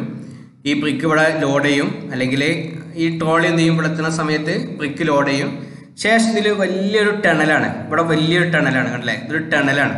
ഒരു തുരങ്കം പോലത്തെ സാധനമാണ്. അപ്പോൾ ഈ ബ്രിക്ക് ആദ്യം ഇങ്ങോട്ടേക്ക് കയറ്റും. അപ്പം അതിൽ ഈ ഭാഗത്തു നിന്നൊക്കെ അതിലെന്ത് ചെയ്യും? ഫയറിങ്ങും കാര്യങ്ങളും വരും. അങ്ങനെ ഇത് ഇങ്ങനെ പോയി പോയി പോയി പുറത്തുനിന്ന് എത്തുന്ന സമയത്ത് എന്ത് ചെയ്തിട്ടുണ്ടാവും? അത് ഫുള്ളി ബേൺഡ് ബ്രിക്ക് ആയിട്ടുണ്ടാവും. കുറച്ച് സമയമൊക്കെ എടുക്കും.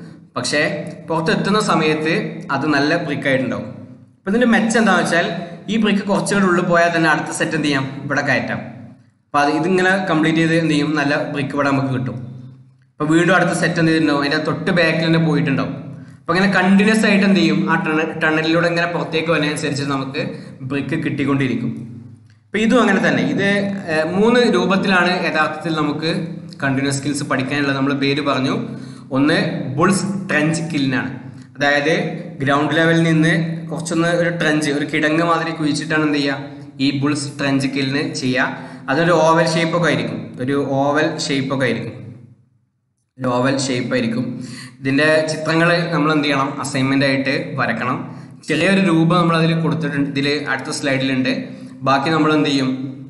ടെക്സ്റ്റ് ബുക്കുകളൊക്കെ റെഫർ ചെയ്ത് നെറ്റൊക്കെ നോക്കിയിട്ട് നമ്മൾ എന്ത് ചെയ്യണം നല്ല ചിത്രങ്ങൾ കാര്യങ്ങളൊക്കെ ഉൾപ്പെടുത്തിയിട്ട് വേണം നമ്മുടെ ഈ ഒരു അസൈൻമെന്റ് സബ്മിറ്റ് ചെയ്യാൻ. ഇത് നോട്ടിലാണ് ഈ അസൈൻമെന്റ് ചെയ്യേണ്ടത്. കണ്ടിന്യൂസ് സ്കിൽസ് എന്നുള്ള ഈ ഒരു ഭാഗം നിങ്ങൾ എന്ത് ചെയ്യണം നോട്ടിലാണ് ഫില്ല് ചെയ്യേണ്ടത് എക്സാമിന് ഇപ്പോൾ ഇതിൽ പറഞ്ഞ പോയിന്റുകൾ മാത്രം പഠിച്ചാൽ മതി. നമ്മുടെ മെയിൻ എക്സാമിന് പക്ഷേ പുറമേയുള്ള എക്സാമുകൾക്ക് ചിലപ്പോൾ ഇതിന്റെ കുറച്ചൊരു അങ്ങോട്ടേക്കും ഇങ്ങോട്ടേക്കുള്ള കാര്യങ്ങളൊക്കെ ചോദിക്കാറുണ്ട്. കുറച്ചൊരു ഇമ്പോർട്ടന്റ് ഏരിയയാണ് അപ്പോൾ ബുൾ സ്ട്രെങ് സ്കില്ലുണ്ട് ഹോഫ്മാൻ സ്കില്ലുണ്ട് ടണൽ കില്ലുണ്ട് ഈ ഹോഫ്മാൻ കില്ലിനൊക്കെ ശരിക്കും ഒരു സർക്കുലർ ഷേപ്പാണ് ബുൾസ് സ്ട്രെഞ്ച് സ്കില്ല് നോക്കാം.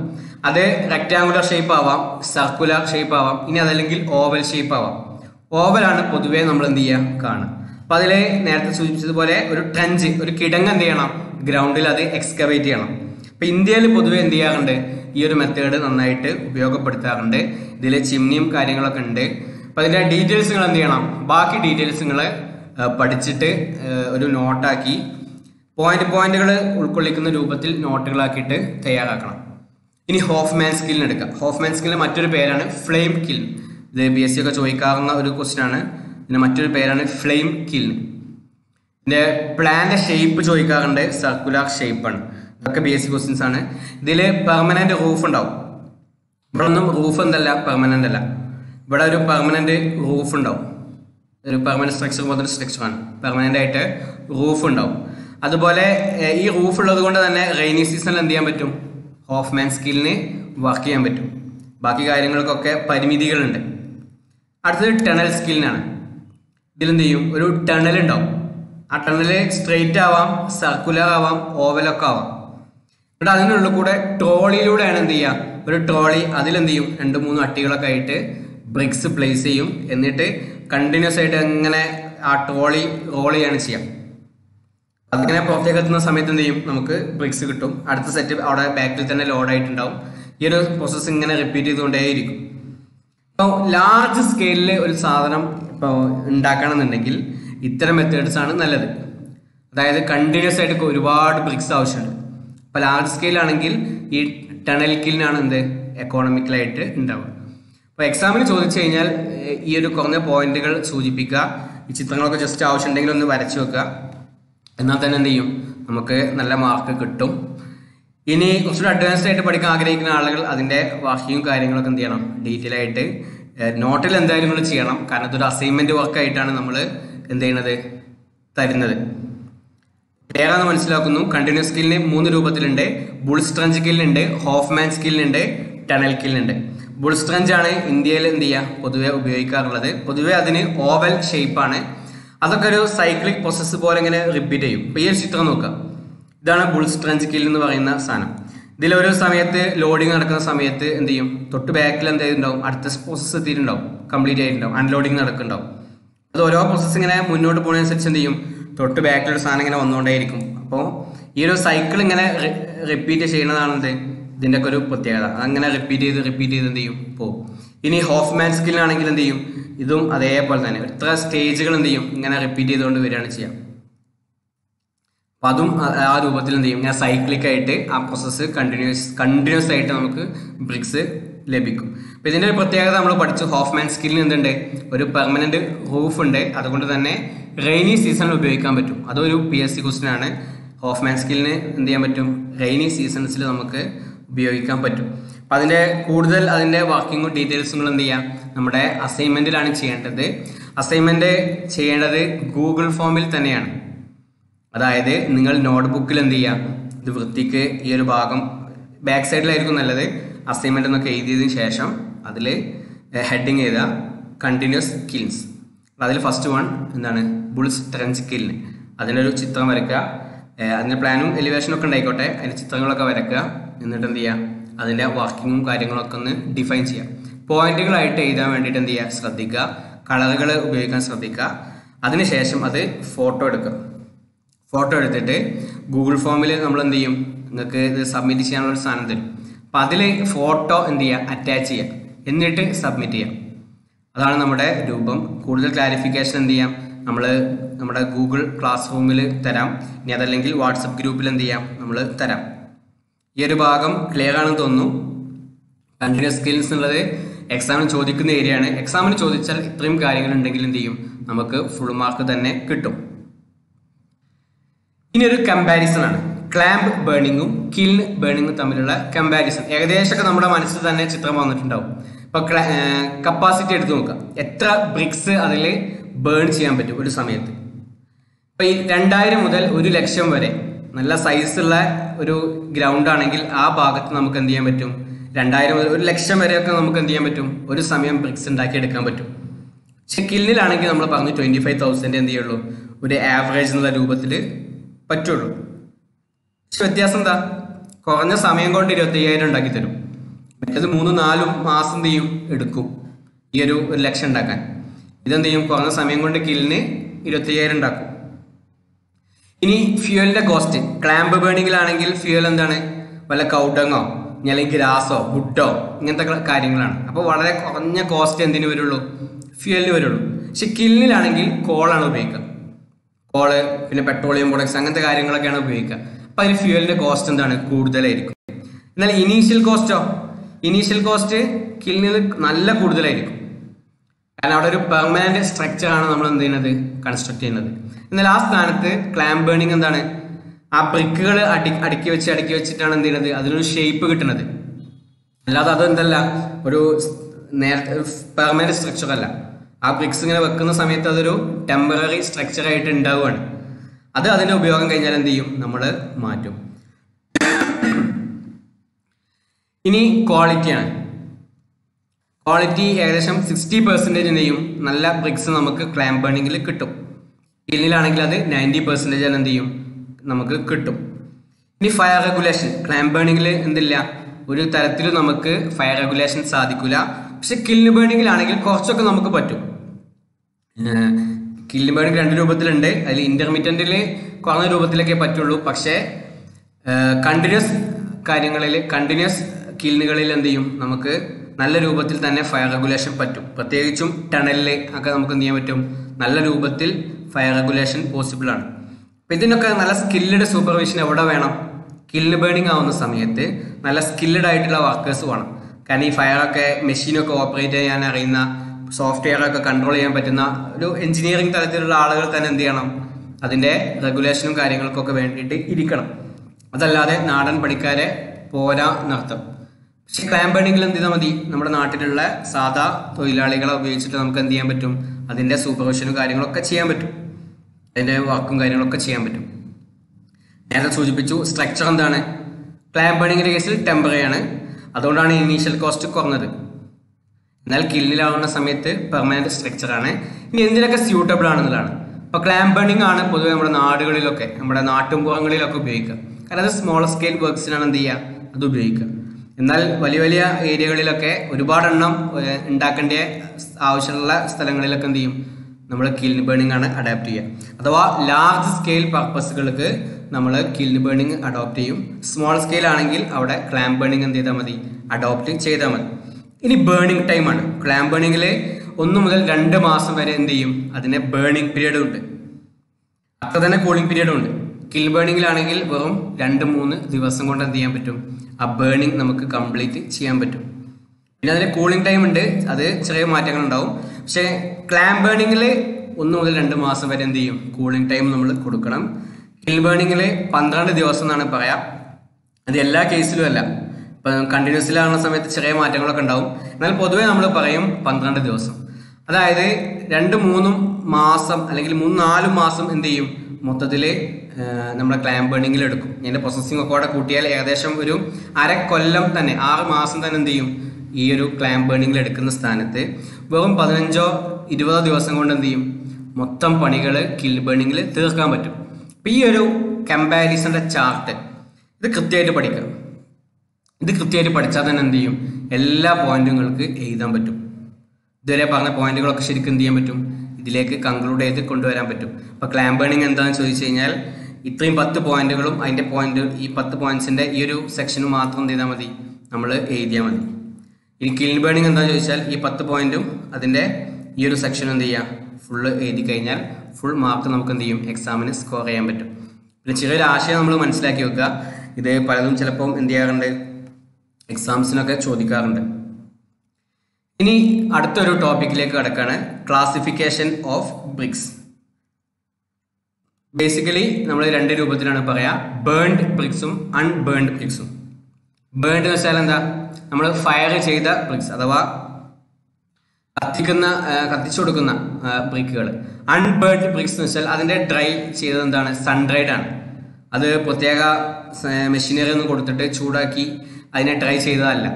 സൺ ഡ്രൈഡ് ആണ്. അതിന് മറ്റൊരു പേരാണ് കച്ച എന്നൊക്കെ നമ്മൾ പറയും. നമ്മുടെ നാട്ടുപുറത്ത് പറയുന്ന ഭാഷയാണ് കച്ച എന്നുള്ളത്. അപ്പൊ സൺ ഡ്രൈഡ് ബ്രിക്സ് ആണ് എന്ത് ചെയ്യുക? നമ്മൾ അൺബേൺഡ് ബ്രിക്സ് എന്ന് വെച്ചാൽ ഉദ്ദേശിക്കുന്നത്. ഇത് ടെമ്പററി സ്ട്രക്ചേഴ്സിനും അതുപോലെ ചീപ്പായിട്ടുള്ള കാര്യങ്ങൾക്കൊക്കെ ചീപ്പ് സ്ട്രക്ചേഴ്സിനൊക്കെയാണ് എന്ത് ചെയ്യുക? ഉപയോഗിക്കുക. കുറഞ്ഞ ക്വാളിറ്റിയാണ് മഴയുള്ള സമയത്ത് എന്ത് ചെയ്യാൻ പറ്റില്ല ഇത് ഉപയോഗിക്കാൻ പറ്റില്ല എന്നുള്ള ഒരു ഡ്രോബാക്ക് അതിനുണ്ട്. എന്നാൽ ബേൺ ബ്രിക്സ് അത് ശരിക്കും എന്ത് ചെയ്യും? നല്ല സുപ്പീരിയർ ക്വാളിറ്റി ബ്രിക്സ് നമുക്ക് തരും. അതിനെ നമുക്ക് ക്ലാസിഫൈ ചെയ്യാം. First class second class third class and fourth class നാല് ക്ലാസ്സുകളായിട്ട് നമ്മൾ എന്ത് ചെയ്യും? ബേൺ ബ്രിക്സിനെ തിരിക്കും. കുറച്ചുകൂടെ ക്വാളിറ്റി കൂടുതലുള്ള ബ്രിക്സ് ആയതുകൊണ്ടാണ് അതിനെ നമ്മൾ ഈ രൂപത്തിൽ ക്ലാസിഫൈ ചെയ്യുന്നത്. അതിൽ തന്നെ ഏറ്റവും നല്ല ക്വാളിറ്റി ഫസ്റ്റ് ക്ലാസ് ആയിരിക്കും. ഏറ്റവും ലോ ക്വാളിറ്റി ഫോർത്ത് ക്ലാസ് ആയിരിക്കും. ഫസ്റ്റ് ക്ലാസ് ബ്രിക്സിന്റെ പ്രത്യേകത എന്താ വെച്ചാൽ അവ തമ്മിലൊന്ന് കൂട്ടിയിടിച്ച് കഴിഞ്ഞാൽ എന്ത് ചെയ്യും? ഒരു റിങ്ങിങ് സൗണ്ട് ഒരു റിങ്ങിങ് സൗണ്ട് എന്ത് ചെയ്യും? നല്ലൊരു ശബ്ദം എന്ത് ചെയ്യും? അതിൽ നിന്ന് ഉണ്ടാവും. ഇപ്പൊ ഈ ഓടൊക്കെ ഞാൻ ക്ലാസിഫൈ ചെയ്യും. ആ സ്ഥലത്ത് പോയി കഴിഞ്ഞാൽ നിങ്ങൾക്ക് മനസ്സിലാവും. ചെറിയൊരു വടി എടുത്തിട്ട് എന്താണ് ചെയ്യാം? ഈ അവിടുത്തെ പണിക്കാർ ആ ഒരു ഓട് എടുത്തിട്ട് ഒരേ സമയത്ത് ഉണ്ടാക്കിയ ഓടുകൾ എന്ത് ചെയ്യും? ഒന്നൊരു ഓട് എടുക്കും ഒന്ന് മേടി നോക്കും. നല്ല ശബ്ദം ഉണ്ടാവുകയാണെങ്കിൽ അത് എ ക്ലാസ് ആണ്. അല്ലെങ്കിൽ ഫസ്റ്റ് ക്ലാസ് ആണ്. കുറഞ്ഞ ശബ്ദമുള്ളെങ്കിൽ അത് സെക്കൻഡ് ക്ലാസ് ആണ്. അത് അവർ തന്നെ ആ ശബ്ദം നോക്കിയിട്ടാണ് എന്ത് ചെയ്യുക മാറ്റി വെക്കുക. അതല്ലാതെ ഒരു സമയത്ത് ഉണ്ടാക്കിയത് മൊത്തം നല്ലത് ഒരു സമയത്ത് ഉണ്ടാക്കിയത് ചീത്ത അങ്ങനെയൊന്നുമില്ല. ഒരേ സമയത്ത് ഉണ്ടാക്കിയതിൽ പലതും എന്തായിരിക്കും? നല്ലതുണ്ടാവും ചീത്ത ഉണ്ടാവും ഒക്കെ ഉണ്ടാവും. അപ്പം അത് മാറ്റി ക്ലാസിഫൈ ചെയ്യാൻ മാനുവലായിട്ടാണ് പലരും. ഒന്ന് ഒരു വടി എടുത്തിട്ട് എന്ത് ചെയ്യും? അടിച്ചു നോക്കും. അപ്പോൾ ഈ റിങ്ങിങ് സൗണ്ടിനനുസരിച്ചിട്ടാണ് അതിനെ അവരെ മാറ്റി വെക്കുക. അപ്പോൾ ഫസ്റ്റ് ക്ലാസ് ബ്രിക്സ് ആണെങ്കിൽ അതിൽ എന്ത് ചെയ്യും? നല്ല റിങ്ങിങ് സൗണ്ട് ഉണ്ടാവും. അതുകൊണ്ട് തന്നെ അത് നല്ല ഗുഡ് ആൻഡ് പെർമനന്റ് വർക്ക്സ് നമുക്ക് ഉപയോഗപ്പെടുത്താൻ പറ്റും. സെക്കൻഡ് ക്ലാസ് ആകുമ്പോൾ നെയ്യും കുറച്ചൊന്ന് കുറയും അല്ലേ? ആ ശബ്ദം കുറച്ചൊന്ന് കുറയും. ഒരു റഫ് സ്ലൈറ്റ്ലി ഇറഗുലർ ആയിട്ടുള്ള സൗണ്ട് ആയിട്ട് അത് മാറും. അത് ബ്രിക്ക് വർക്ക്സിന് ഉപയോഗിക്കാം പ്ലാസ്റ്ററിംഗ് വർക്ക്സിന് ഉപയോഗിക്കാം അഥവാ ജസ്റ്റ് ഒരു ബ്രിക്ക് വർക്ക്സിനല്ല പ്ലാസ്റ്ററിംഗ് കൂടെ ചെയ്തിട്ട് ഉപയോഗിക്കുന്ന കാര്യങ്ങൾ ഉണ്ടാവുമല്ലോ. കാരണം കുറച്ച് ഭാഗങ്ങൾ എന്ത് ചെയ്തിട്ടുണ്ടാവും? ചെറിയ പൊടിയലും ഇതൊക്കെ ഉണ്ടായിട്ടുണ്ടാവും. അപ്പം അതൊക്കെ ഹൈഡ് ചെയ്യാൻ വേണ്ടിയിട്ട് നമ്മൾ പ്ലാസ്റ്ററിംഗ് കൂടെ ചെയ്യുന്ന ചുമരുകൾ അങ്ങനത്തെ കാര്യങ്ങൾക്കൊക്കെ എന്ത് ചെയ്യാം? സെക്കൻഡ് ക്ലാസ് ബ്രിക്സും ഉപയോഗിക്കാം. കാരണം പ്ലാസ്റ്റർ ചെയ്ത് കഴിഞ്ഞാൽ പിന്നെ ആ ഇറഗുലാരിറ്റീസ് എന്ത് ചെയ്യില്ല? ആളുകൾ കാണൂല. ആവശ്യത്തിന് സ്ട്രെങ്ത് എന്ത് ചെയ്യും? അതിനുണ്ടാവും. സെക്കൻഡ് ക്ലാസ്സിന് ആവശ്യത്തിന് സ്ട്രെങ്ത് കാര്യങ്ങൾ ഉണ്ടാവും. എന്നാൽ തേർഡ് ക്ലാസ് ആവുന്ന സമയത്ത് ഒരു ബാഡ് റിങ്ങിങ് സൗണ്ട് ആയിരിക്കും ഉണ്ടാവും. അപ്പം അത് ഒരു ടെമ്പററി ആയിട്ട് ഉണ്ടാക്കുന്ന സ്ട്രക്ചേഴ്സ് താൽക്കാലികമായിട്ടുള്ള ഗാർഡൻ വാൾ അങ്ങനത്തെ ഒരു അൺഇമ്പോർട്ടന്റ് ആയിട്ടുള്ള കാര്യങ്ങൾക്ക് മാത്രം എന്ത് ചെയ്യുള്ളൂ? Third class ഉപയോഗിക്കുള്ളൂ. ഫോർത്ത് ക്ലാസ്സിലൊക്കെ വെച്ചാൽ ഡാർക്ക് ആയിട്ട് മാറിയിട്ടുണ്ടാവും. കളറൊക്കെ ഓവർ ബേൺഡ് ആയിട്ട് അതിന്റെ ഷേപ്പ് മാറിയിട്ടുണ്ടാവും വളഞ്ഞിട്ടുണ്ടാവും.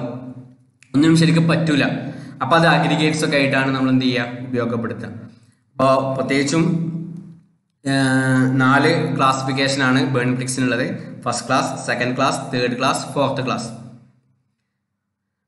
ഈ ഒരു കാര്യങ്ങൾ കൂടെ നോട്ടിൽ എഴുതി വെക്കണം. ഞാൻ ഏതായാലും സ്ലൈഡ് നിങ്ങൾക്ക് പ്രൊവൈഡ് ചെയ്യും. ഞാൻ ഇതിങ്ങനെ പറഞ്ഞു പോകണം സമയം ഇപ്പോൾ തന്നെ എന്ത് ചെയ്തു നമ്മൾ കുറച്ച് വൈകിയിട്ടുണ്ട് പക്ഷേ ഇന്നത്തെ ഈ ഒരു ക്ലാസ്സോട് കൂടെ ഈ ഒരു പോർഷൻ വൈൻഡപ്പ് ചെയ്യണമെന്നുള്ളത് കൊണ്ട് എന്ത് ചെയ്യണം? ഒന്ന് fast ആക്കാണ്.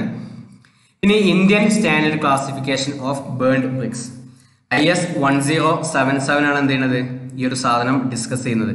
Nineteen ninety ടൂവിലുള്ള I S one zero seven seven ഈ ഒരു കോഡ് ബുക്കിലാണ് എന്ത് ചെയ്യുന്നത് ഈ ഒരു സാധനം ഡിസ്കസ് ചെയ്യുന്നത്. I S one zero seven seven ഇതാണ് ബ്രിക്സിന്റെ കോഡ് അല്ലാത്ത ഒന്ന് രണ്ട് കോഡ്സ് കണ്ടിട്ടുണ്ട്. എന്തായാലും ഇതിന്റെ ഡെസിഗ്നേഷൻ നമ്മൾ ഇങ്ങനെയാണ് പറയാം. Three point five five seven point five ten twelve point five ഇങ്ങനത്തെ വ്യത്യസ്ത ഗ്രേഡുകൾ ഇവിടെ നമുക്ക് കാണാം. ഇത് I S code Indian standard കോഡാണ് ഐ എസ് കോഡ് എന്നാണ് നമ്മൾ പറയാം. നമ്മുടെ ഏത് കാര്യങ്ങൾക്കും എന്ത് ചെയ്തിട്ടുണ്ടാവും? ഇത്തരം ഒരു സ്റ്റാൻഡേർഡ്സ് നമ്മൾ ഡിഫൈൻ ചെയ്തിട്ടുണ്ട്. ഇപ്പോൾ കോൺക്രീറ്റ് ഡിസൈൻ ചെയ്യുകയാണെങ്കിൽ നമ്മൾ എന്ത് ചെയ്യും? അതിന് I S four five six എന്ന് പറയുന്ന Indian standard four five six two thousand എന്ന് പറയുന്ന ഒരു കോഡ് ബുക്ക് ഉണ്ട്. ആ കോഡ് ബുക്ക് നമുക്ക് പരീക്ഷയ്ക്ക് ഉപയോഗിക്കാം. നിങ്ങൾക്ക് ഇനി പരിചയപ്പെടാനുള്ളതാണ്. അപ്പം അത്തരം കോഡ് ബുക്കുകൾ എന്ത് ചെയ്യുന്നുണ്ട്? ഓരോ സംഗതികൾക്കും നമുക്കുണ്ട്. ഇപ്പം സ്റ്റീലിന്റെ ഡിസൈൻ ആണെങ്കിൽ അതിന് ഐ എസ് എയ്റ്റ് ഹൺഡ്രഡ് ഉണ്ട്. ഇനി കോൺക്രീറ്റ് മിക്സ് ഡിസൈൻ ഉണ്ട്. ഇപ്പം M ten M twenty M fifteen എന്നൊക്കെ നമ്മൾ കേട്ടിട്ടുണ്ടാവും.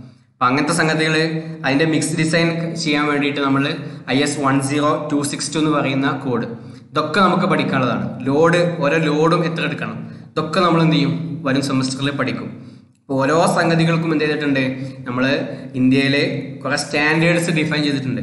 അപ്പോൾ നമ്മൾ ഉണ്ടാക്കുമ്പം അതുമായിട്ട് ഒത്തു നോക്കണം. എന്നാലേ നമ്മൾ ഉണ്ടാക്കിയത് നല്ലതാണോ അല്ലയെന്ന് നമുക്ക് പറയാൻ പറ്റുള്ളൂ. അപ്പോൾ ബ്രിക്സിന്റെ കേസിലും നമ്മൾ ഇങ്ങനെ ഒരു ക്ലാസിഫിക്കേഷൻ പറയാറുണ്ട്. അപ്പം അതിന്റെ ഡെസിഗ്നേഷൻ ത്രീ പോയിന്റ് ഫൈവ് മുതൽ തേർട്ടി ഫൈവ് വരെ ചിത്രത്തിൽ നമുക്ക് കാണാം ഉണ്ട്. അപ്പോൾ ഈ ത്രീ പോയിന്റ് ഫൈവ് എന്നൊക്കെ പറഞ്ഞാൽ എന്താണ്? അതിന്റെ കംപ്രസീവ് സ്ട്രെങ്ത് ആണ്. അപ്പോൾ ഏറ്റവും മിനിമം ആയിട്ട് ഒരു ബ്രിക്കിന് ഉണ്ടാകാൻ പറ്റുന്ന സ്ട്രെങ്ത് ത്രീ പോയിന്റ് ഫൈവ് ആണ്. അതിന്റെ അടിയിലേക്ക് സ്ട്രെങ്ത് വന്നു കഴിഞ്ഞാൽ അതിനെ ബ്രിക്കായിട്ട് നമ്മൾ എന്ത് ചെയ്യില്ല? ട്രീറ്റ് ചെയ്യില്ല. ജസ്റ്റ് ആ റെക്ടാങ്കുലർ ഷേപ്പുള്ള ഒരു ബ്ലോക്ക് ആയിട്ട് എടുക്കുള്ളൂ. ബ്രിക്കായിട്ട് നമ്മൾ എന്ത് ചെയ്യില്ല? അതിനെ ഉപയോഗപ്പെടുത്തില്ല അപ്പം മിനിമം സ്ട്രെങ്ത് ബ്രിക്കിന്റെ എന്താണ്? Three point five newton per M M square ആണ്. ഒരിക്കലും അതിന്റെ മാക്സിമം വിചാരിക്കരുത്. പല ആളുകൾക്കുള്ള തെറ്റിദ്ധാരണയാണ്. അപ്പം അതിന്റെ കൂടുതൽ ഇപ്പം എം തേർട്ടി എന്ന് വെച്ചാൽ minimum thirty newton per M M square കോൺക്രീറ്റിന് വേണം. ഏകദേശം ആ സ്ട്രെങ്ത് ഒക്കെ കൊടുക്കാൻ പറ്റുന്ന ബ്രിക്സ് അവൈലബിൾ ആണ്. അപ്പം അതുകൊണ്ടാണ് ഇതിൽ തേർട്ടി ഫൈവ് ഗ്രേഡ് ഒക്കെ നിങ്ങൾ കാണുന്നത്. നമ്മൾ നോക്കുക ഒരു ഇമ്പോർട്ടന്റ് ഏരിയ ആണ് ഐ എസ് ക്ലാസിഫിക്കേഷൻ എന്നുള്ളത്. ഇപ്പോൾ ത്രീ പോയിന്റ് ഫൈവ് ഉണ്ട് ഫൈവ് ഉണ്ട് സെവൻ പോയിന്റ് ഫൈവ് ഉണ്ട്. ഈ എണ്ണൊക്കെ ശരിക്ക് ഇതേപോലെ പഠിക്കണം ഈ ഡെസിഗ്നേഷൻ കാരണം അതതിന്റെ കമ്പോസിറ്റ് സ്ട്രെങ്ത്തുമായിട്ട് ബന്ധപ്പെട്ട സംഗതികളാണ്. എഴുതിയിട്ടുണ്ടാവും. അല്ലേ? അറ്റൻഡൻസ് ഒന്ന് കമന്റ് ചെയ്യാം? ഇപ്പോൾ ഈ ഒരു സമയത്തിന് ശേഷം കുറഞ്ഞൊരു രണ്ട് രണ്ട് മിനിറ്റ് സമയം എടുക്കാം പെട്ടെന്ന് എന്ത് ചെയ്യാം? അറ്റൻഡൻസ് ഒന്ന് ലൈവ് ചാറ്റിൽ എന്റർ ചെയ്യാം. എല്ലാ ആളുകളും. നമ്പറാണ് എന്റർ ചെയ്യേണ്ടത് കേട്ടോ. പേര് പേര് എന്റർ ചെയ്യണ്ട. നിങ്ങളെ നിങ്ങൾക്ക് അസൈൻ ചെയ്ത റോൾ നമ്പർ എന്ത് ചെയ്യാം? ഒന്ന് എന്റർ ചെയ്യാം. നിങ്ങൾ ചെയ്തോളൂ. നമുക്ക് അടുത്തൊരു പോർഷനിലേക്ക് കൂടെ മൂവ് ചെയ്യാം. സമയം അധികമായിട്ടുണ്ട്. ക്യാരക്ടറിസ്റ്റിക്സ് ഓഫ് ഗുഡ് ബ്രിക്ക് നല്ലൊരു ബ്രിക്കിന്റെ ക്യാരക്ടറിസ്റ്റിക്സ് എന്താണെന്നുള്ളതാണ്.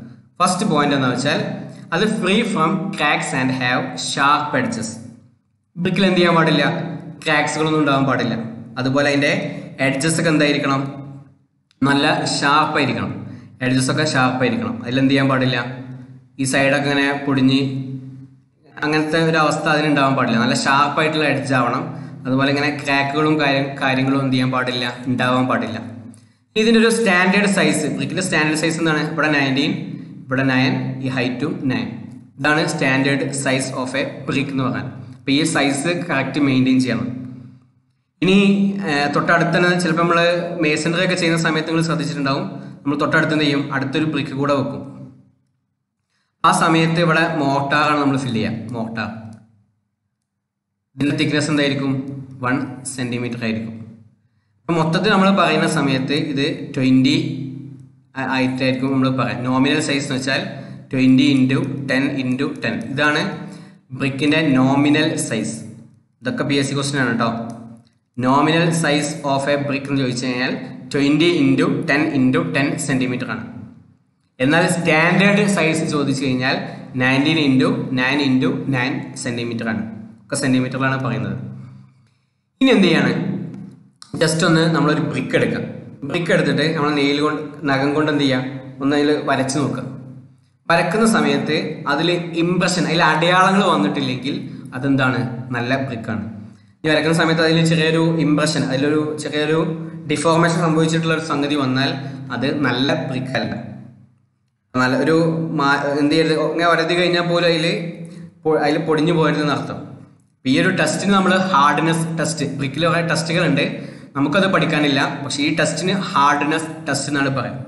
ഒരു അപ്പൊ ഇങ്ങനെയൊക്കെ ചോദിച്ചു കഴിഞ്ഞാൽ പറയാൻ പറ്റും. പി എസ് സിക്കൊക്കെ ചോദിക്കാറുണ്ട്. ഹാർഡ്നെസ് ടെസ്റ്റ് ഓൺ ബ്രിക്ക് എന്ന് വെച്ചാൽ ജസ്റ്റ് എന്ത് ചെയ്യുക? ബ്രിക്ക് എടുക്കുക. നഖം കൊണ്ട് എന്ത് ചെയ്യുക? ജസ്റ്റ് ഒന്ന് വരച്ച് നോക്കുക. ഇങ്ങനെ സ്ക്രാച്ച് ചെയ്യുന്ന സമയത്ത് ഇംപ്രഷൻ ഒന്നും ഉണ്ടായിട്ടില്ലെങ്കിൽ അത് നല്ല ബ്രിക്കാണ് ഇംപ്രഷൻ ഉണ്ടായിട്ടുണ്ടെങ്കിൽ അതെന്താണ്? ബാഡ് ബ്രിക്കുമായിട്ട് മാറും. ഇനി ഫോർത്ത് വൺ അത് തമ്മിൽ എന്ത് ചെയ്യാം? ഒന്ന് കൂട്ടി അടിക്കുക. നേരത്തെ നമ്മൾ പറഞ്ഞു നല്ല ബ്രിക്ക് ആണെങ്കിൽ നല്ല റിങ്ങിങ് സൗണ്ട് ഉണ്ടാവും.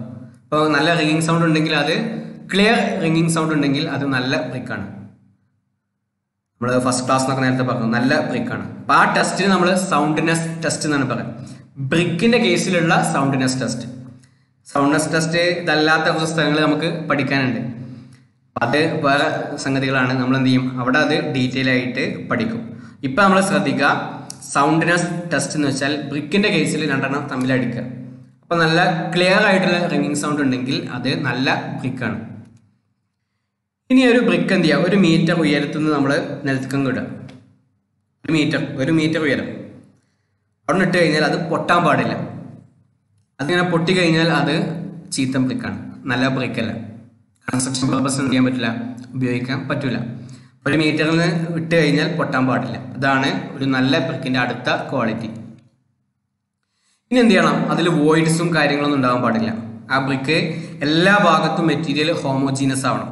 നല്ല കോമ്പാക്ട് നല്ല എന്താ പറയുക ഒതുങ്ങി നിൽക്കുന്ന നല്ല ഒരു ഷേപ്പ് കറക്റ്റ് ഫീൽ ചെയ്യുന്ന സാധനമായിട്ട് മാറണം. അതുപോലെ വോയിഡ്സ് എന്ത് ചെയ്യാൻ പാടില്ല ഇടയിൽ ഉണ്ടാകാൻ പാടില്ല. വോയിഡ്സ് ഉണ്ടെങ്കിൽ എന്താവും? പോറസ് ആയിട്ട് മാറും. വെള്ളമൊക്കെ കടത്തി വിടുന്ന ഒരു അവസ്ഥ വരും. അപ്പം അങ്ങനെ പോറോസിറ്റി ഇല്ലാത്തൊരു അവസ്ഥയാണ് ബ്രിക്കിന് വേണ്ടത്. ഹോമോജിനസ് ആവണം കോമ്പാക്റ്റ് ആവണം ഫ്രീ ഫ്രം വോയിഡ്സ് ആവണം. അടുത്തൊരു പോയിന്റ് നോക്കാം.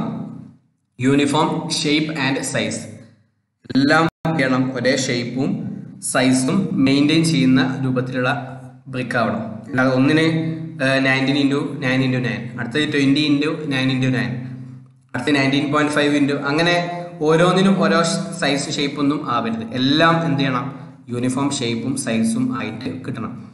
ഇനി അടുത്ത് നോക്കുക. ലോ തെർമൽ കണ്ടക്ടിവിറ്റി ആണ്.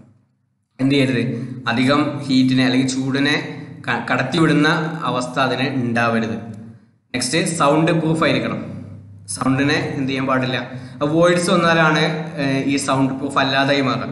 പുറത്തേക്കൊക്കെ കേൾക്കുക. അപ്പോൾ വോയിഡ്സ് ഇല്ലാത്ത രൂപത്തിലാണെങ്കിൽ സൗണ്ട് പ്രൂഫ് ആയിരിക്കും. Tenth one minimum crushing strength എന്താണ് ത്രീ പോയിന്റ് ഫൈവ് ആണ്. അഥവാ ക്രഷിംഗ് സ്ട്രെങ്ത് നിർബന്ധമായിട്ടും three point five newton per M M സ്ക്വയറിനേക്കാൾ കൂടുതൽ ഉണ്ടാകണം. ഏറ്റവും ചെറിയ ഗ്രേഡ് ആണ് three point five minimum crushing strength ആണ് ത്രീ പോയിന്റ് ഫൈവ് അതിന്റെ മേലോട്ടാണ് ബ്രിക്കിന് നല്ല ബ്രിക്കിന് വേണ്ടത്. അല്ലാതെ നല്ല ബ്രിക്കിന് ത്രീ പോയിന്റ് ഫൈവ് ആണെന്ന് ഒരിക്കലും പഠിച്ചു വെക്കരുത്. നല്ല ബ്രിക്ക് ആണെന്നുണ്ടെങ്കിൽ എന്തായാലും ത്രീ പോയിന്റ് ഫൈവിന് മേലാവണം. ഏറ്റവും മിനിമം ആണ് എന്ത്? ത്രീ പോയിന്റ് ഫൈവ് അതിനേക്കാൾ കുറയാൻ പാടില്ല. അതിനേക്കാൾ മേലുള്ള പല സ്ട്രെങ്ത്തുകളും എന്താണ്? നല്ല ബ്രിക്കുകളാണ് ഇപ്പോൾ ട്വന്റി ന്യൂട്ടൺ പെർ സ്ക്വയർ ഒക്കെ ഉണ്ടെങ്കിൽ നല്ല ബ്രിക്കാണ് ഇനി അത് വാട്ടറിലേക്ക് ഇമ്മേഴ്സ് ചെയ്യാണ്. അതിന് പുറത്ത് എന്ത് ചെയ്യാൻ പാടില്ല? സാൾട്ടിന്റെ ഡെപ്പോസിറ്റ് ഒരു വൈറ്റ് പൗഡർ ആയിട്ട് ഇങ്ങനെ വരും ചിലപ്പോൾ. അങ്ങനത്തെ അവസ്ഥകളൊന്നും അതിന് ഉണ്ടാവരുത്.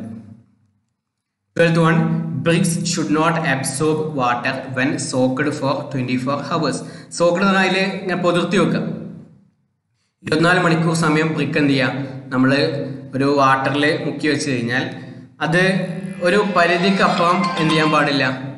ഒരു പരിധിക്കപ്പുറം നമുക്ക് അതിൽ വാട്ടർ കൊടുക്കാൻ ഫോൺ വന്നതാണ്. ഇപ്പോൾ ബ്രിക്സ് ബ്രിക്സ് നമ്മൾ വാട്ടറിൽ പൊതിർത്തി വെച്ചു. അപ്പോൾ അതിലെന്ത് ചെയ്യാൻ പാടില്ല? വാട്ടർ അബ്സോർപ്ഷൻ കൂടുതലാവാൻ പാടില്ല. അപ്പം നമ്മൾ പറയാം ഫസ്റ്റ് ക്ലാസ് ബ്രിക്ക് ആണെങ്കിൽ അതിൽ maximum twenty percentage by weight ആണ് എന്ത് ചെയ്യേണ്ടത്? പെർമിസിബിൾ സെക്കൻഡ് ക്ലാസ് ആണെങ്കിൽ twenty two percentage by weight permissible ആണ്. ഈ ഒരു പോയിന്റ് നോക്കാം ഇത് രണ്ടും ചിലപ്പോൾ ബി എസ് സി എക്സാമുകൾക്കൊക്കെ ചോദിക്കുന്ന ചില ഏരിയകളാണ് first class ബ്രിക്സിന്റെ maximum twenty percentage by weight ആണ്. സെക്കൻഡ് ക്ലാസ്സിന് maximum twenty two percentage by weight ആണ്. അപ്പോൾ പൊതുവെ പറഞ്ഞു കഴിഞ്ഞാൽ എന്താണ്? ബ്രിക്കിന് നല്ല ബ്രിക്കിന് കുറച്ച് ക്വാളിറ്റീസ് വേണം. അതിന്റെ ഷേപ്പൊക്കെ എന്ത് ചെയ്യണം? നല്ല സ്റ്റാൻഡേർഡ് ഷേപ്പിൽ നിൽക്കണം. അതിൽ ക്രാക്സ് പാടില്ല. അതിന്റെ സൈഡൊക്കെ നല്ല ക്ലിയർ എഡ്ജസ് ആയിരിക്കണം. അതിൽ പോറസ് ആവാൻ പാടില്ല. വോയിഡ്സ് ഉണ്ടാവാൻ പാടില്ല. സ്ട്രക്ചർ കോമ്പാക്റ്റ് ആയിരിക്കണം. നല്ല ക്രഷിങ് സ്ട്രെങ്ത് വേണം. ലോ തെർമൽ കണ്ടക്ടിവിറ്റി ആയിരിക്കണം സൗണ്ട് പ്രൂഫ് ആയിരിക്കണം.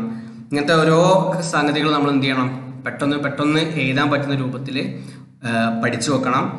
പിന്നെ ഇതിലുള്ള ചില ന്യൂമറിക്കൽ വാല്യൂസ് നിങ്ങൾ ഓർത്ത് വെക്കണം. അത് നിങ്ങൾക്ക് എന്ത് ചെയ്യും? വേറെ പല എക്സാമുകൾക്കും നന്നായിട്ട് ഉപകാരം ചെയ്യും. അപ്പോൾ ഇതിൽ കാര്യങ്ങളൊക്കെ ക്ലിയർ ആണെന്നാണ് മനസ്സിലാക്കുന്നത്. ഈ ഒരു ഭാഗത്തോട് കൂടെ ശരിക്കും എന്ത് ചെയ്തു? നമ്മുടെ ഈ ഒരു ബ്രിക്സുമായിട്ട് ബന്ധപ്പെട്ട ഏരിയ അപ്പോൾ നമ്മളിപ്പോൾ ഇന്ന് ഡിസ്കസ് ചെയ്ത ഏരിയ ശരിക്കും നോക്കുക. നമ്മൾ കിൽൻ ബേണിംഗ് എന്ത് ചെയ്തു? ഡീറ്റെയിൽ ആയിട്ട് നമ്മൾ പഠിച്ചു കിൽൻ ബേണിംഗ് പാൻ ബേണിംഗ് കഴിഞ്ഞ ക്ലാസ് നമ്മൾ പഠിച്ചതാണ്. കില്ലിന് രണ്ട് രൂപത്തിലുണ്ട്. ഏതൊക്കെയാണ്? ഇന്റർമീഡിയറ്റ് കിൽസ് ഉണ്ട് കണ്ടിന്യൂസ് കിൽസ് ഉണ്ട്. ഇന്റർമീഡിയറ്റ് തന്നെ അപ് ട്രോട്ടും ഉണ്ട് ഡൗൺ ട്രോട്ടും ഉണ്ട്. കണ്ടിന്യൂസ് കില്ലിന് ബുൾ സ്കില്ലുണ്ട് ഹോഫ്മാൻസ് ഉണ്ട് ടണൽസ് ഉണ്ട് ഇങ്ങനത്തെ മൂന്ന് രൂപത്തിൽ എന്ത് ചെയ്യുന്നുണ്ട്? അതൊക്കെ ഉണ്ട്. കില്ലിന് ബേണിംഗ് ആണ് ഏറ്റവും നല്ലത്. അതായത് ഇരുപത്തയ്യായിരം എണ്ണൊക്കെ ഉണ്ടാക്കാൻ പറ്റുള്ളൂ. പക്ഷെ കണ്ടിന്യൂസ് ആയിട്ട് എന്ത് ചെയ്യാൻ പറ്റും? നമുക്ക് ഉണ്ടാക്കാൻ പറ്റും. പിന്നെ I S specification of bricks നമ്മൾ പറഞ്ഞു ത്രീ പോയിന്റ് ഫൈവ് മുതൽ എന്ത് ചെയ്തിട്ടുണ്ട്? തേർട്ടി ഫൈവ് ഗ്രേഡ് വരെ ഡെസിഗ്നേഷനുള്ള ഐ എസ് ബ്രിക്സ് നമ്മൾ പഠിച്ചു. ഇനി ഇതല്ലാത്ത രണ്ട് ക്ലാസിഫിക്കേഷൻ നമ്മൾ പറഞ്ഞിട്ടുണ്ട്. ഐ എസ് ക്ലാസിഫിക്കേഷൻ അല്ല പക്ഷേ മെയിനായിട്ട് നമ്മൾ പഠിച്ചിരിക്കേണ്ട ക്ലാസിഫിക്കേഷനാണ് എന്താണ് first class bricks second class bricks ആ രൂപത്തിലുള്ള ബ്രിക്സ് പിന്നെ characteristics of good bricks used for building purposes നമ്മൾ പഠിച്ചു. അപ്പോൾ നമ്മൾ ജസ്റ്റ് ഡിസ്കസ് ചെയ്ത് നിർത്തിയത് ഈ ഒരു പോർഷനാണ് അപ്പോൾ നമ്മൾ ശരിക്കും ഫസ്റ്റ് രണ്ട് ഭാഗങ്ങൾ നമ്മൾ ശരിക്കും പഠിച്ച് കംപ്ലീറ്റ് ചെയ്തു. അപ്പോൾ സ്ട്രക്ചറൽ ബിൽഡിംഗ് മെറ്റീരിയൽസ് ഉള്ള ഈ ഒരു ഭാഗത്ത് നിന്ന് സ്റ്റോൺ നമ്മൾ ശരിക്കും ഡിസ്കസ് ചെയ്ത് പഠിച്ചു. അതിനുശേഷം ബ്രിക്സ് ക്ലേ പ്രൊഡക്ട്സിൽ ബ്രിക്സ് നമ്മൾ പഠിച്ചു. ഇനി നമുക്ക് അടുത്ത ക്ലാസ്സിൽ പഠിക്കാനുള്ളത് ടൈൽസ് എന്നുള്ള ഒരു പുതിയ പോർഷനാണ് അത് നമ്മൾ എന്ത് ചെയ്യും? ഡീറ്റെയിൽ ആയിട്ട് ഡിസ്കസ് ചെയ്യും. ഇതുവരെയുള്ള ക്ലാസ്സുകളിൽ എന്തെങ്കിലും ഡൗട്ടുകൾ ഉണ്ടെങ്കിൽ എന്ത് ചെയ്യണം? നമ്മൾ ഗൂഗിൾ ക്ലാസ് റൂം വഴി ചോദിക്കണം. സംശയങ്ങൾ ഉണ്ടെങ്കിൽ പറയാം. കമൻസിൽ ഇപ്പോൾ വേണ്ട. നമ്മൾ സമയം ഓൾറെഡി എന്ത് ചെയ്തിട്ടുണ്ട്? അധിക സമയം നമ്മളിപ്പോൾ എടുത്തു. ഇനി എന്തെങ്കിലും ഡൗട്ടുകൾ ഉണ്ടെങ്കിൽ എന്ത് ചെയ്യാം? ഗൂഗിൾ ക്ലാസ് റൂമിൽ ചോദിക്കാം. വാട്സപ്പിൽ പേഴ്സണലായിട്ട് ചോദിക്കാം. നോട്ട് എല്ലാവരും വൃത്തിയായിട്ട് എഴുതുന്നുണ്ട് എന്നുള്ളത് ഒരു വിശ്വാസമാണ്. അത് കീപ്പ് ചെയ്യുന്നുണ്ട്. പിന്നെ ഇന്ന് തന്ന ഹോം അസൈൻമെന്റ് അത് നിങ്ങൾ കൃത്യമായിട്ട് എന്ത് ചെയ്യണം? നോട്ടിന്റെ ബാക്ക് സൈഡിൽ എഴുതുക. ഫ്രണ്ട് സൈഡിൽ എന്ത് ചെയ്യണം? നമ്മളിപ്പോൾ സ്ലൈഡിൽ കാണിച്ച പോയിന്റുകൾ ഫ്രണ്ട് സൈഡിൽ വേണം. ഒരു മൂന്ന് ക്ലാസിഫിക്കേഷൻ നമ്മൾ പറഞ്ഞല്ലോ. അത് എന്ത് ചെയ്യണം? നോട്ട്ബുക്കിൽ വേണം. അതിന് പുറമെ അതിന്റെ ഒരു ഡീറ്റെയിൽ വശങ്ങൾ എന്ത് ചെയ്യണം? അസൈൻമെന്റ് ആയിട്ട് നിങ്ങൾ ചെയ്യണം. വീഡിയോസ് ഒക്കെ എടുത്ത് നോക്കുക. നെറ്റിൽ എന്ത് ചെയ്യാം വീഡിയോസ് ഒക്കെ ഒന്ന് എടുത്ത് നോക്കുക. അപ്പോൾ എന്ത് ചെയ്യും? കൂടുതലായിട്ട് ക്ലാരിറ്റി നമുക്ക് ഈ വിഷയങ്ങളിൽ കിട്ടും. പിന്നെ എന്തെങ്കിലും കാര്യങ്ങളുണ്ടോ? കമൻസിൽ ഒരു കാര്യം ചെയ്യാം. കമൻസ് ഞാനിപ്പോൾ ശ്രദ്ധിക്കുന്നില്ല. ഫീഡ്ബാക്കുകൾ നമുക്ക് എന്ത് ചെയ്യാം? ഗൂഗിൾ ക്ലാസ് റൂമിൽ ചോദിക്കാം. അവിടെ കമന്റ് ചെയ്യാം. ഞാനത് ശ്രദ്ധിക്കുന്നുണ്ട്. പിന്നെ ഇതുമായിട്ട് ബന്ധപ്പെട്ട ഒരു ക്വിസ് നമ്മൾ എന്ത് ചെയ്തിട്ടുണ്ട്? പോസ്റ്റ് ചെയ്തിട്ടുണ്ട്. അതുകൂടെ ചെയ്യണം. അതിലാണ് നിങ്ങളെ അറ്റൻഡൻസ് ഈ ക്ലാസ് കേൾക്കാതെ ചില ആളുകൾ ഷെയർ ചെയ്യുന്ന രൂപമുണ്ടോ ഉണ്ടോ എനിക്ക് ചെറിയൊരു സംശയമുണ്ട്. അപ്പം അങ്ങനെ നിങ്ങൾ ഒരിക്കലും ചെയ്യരുത്. അത് നിങ്ങൾ ചെയ്യുന്നത് നിങ്ങളെ കൂട്ടുകാരെന്ത് ചെയ്യാണ്? ഏഹ് മോശമാക്കുകയാണ്. അവർക്ക് പഠിക്കാനുള്ള അവസരം ഇല്ലാതാക്കുകയാണ് ചെയ്യുന്നത്. അപ്പോൾ ഈ ഒരു സമയം നന്നായിട്ട് ശ്രദ്ധിച്ച് പഠിക്കുക. ഈ ഇപ്പോഴത്തെ അവസ്ഥകളൊക്കെ മാറി നമ്മൾ കോളേജിൽ തന്നെ ഒരുമിച്ച് പഠിക്കാനുള്ള അവസ്ഥ ഉണ്ടാകാൻ വേണ്ടി പ്രാർത്ഥിക്കുക. കാര്യങ്ങളൊക്കെ ഉഷാറായിട്ട് പോകട്ടെ. ഇനി അടുത്തൊരു ക്ലാസ്സിൽ നമുക്ക് എന്ത് ചെയ്യാം? ടൈൽസുമായിട്ട് ബന്ധപ്പെട്ട കാര്യങ്ങൾ പഠിക്കാം. ഈ ഒരു സെഷൻ നമ്മൾ എന്ത് ചെയ്യാണ് ഇവിടെ വൈൻഡപ്പ് ചെയ്യാണ്. Thank you okay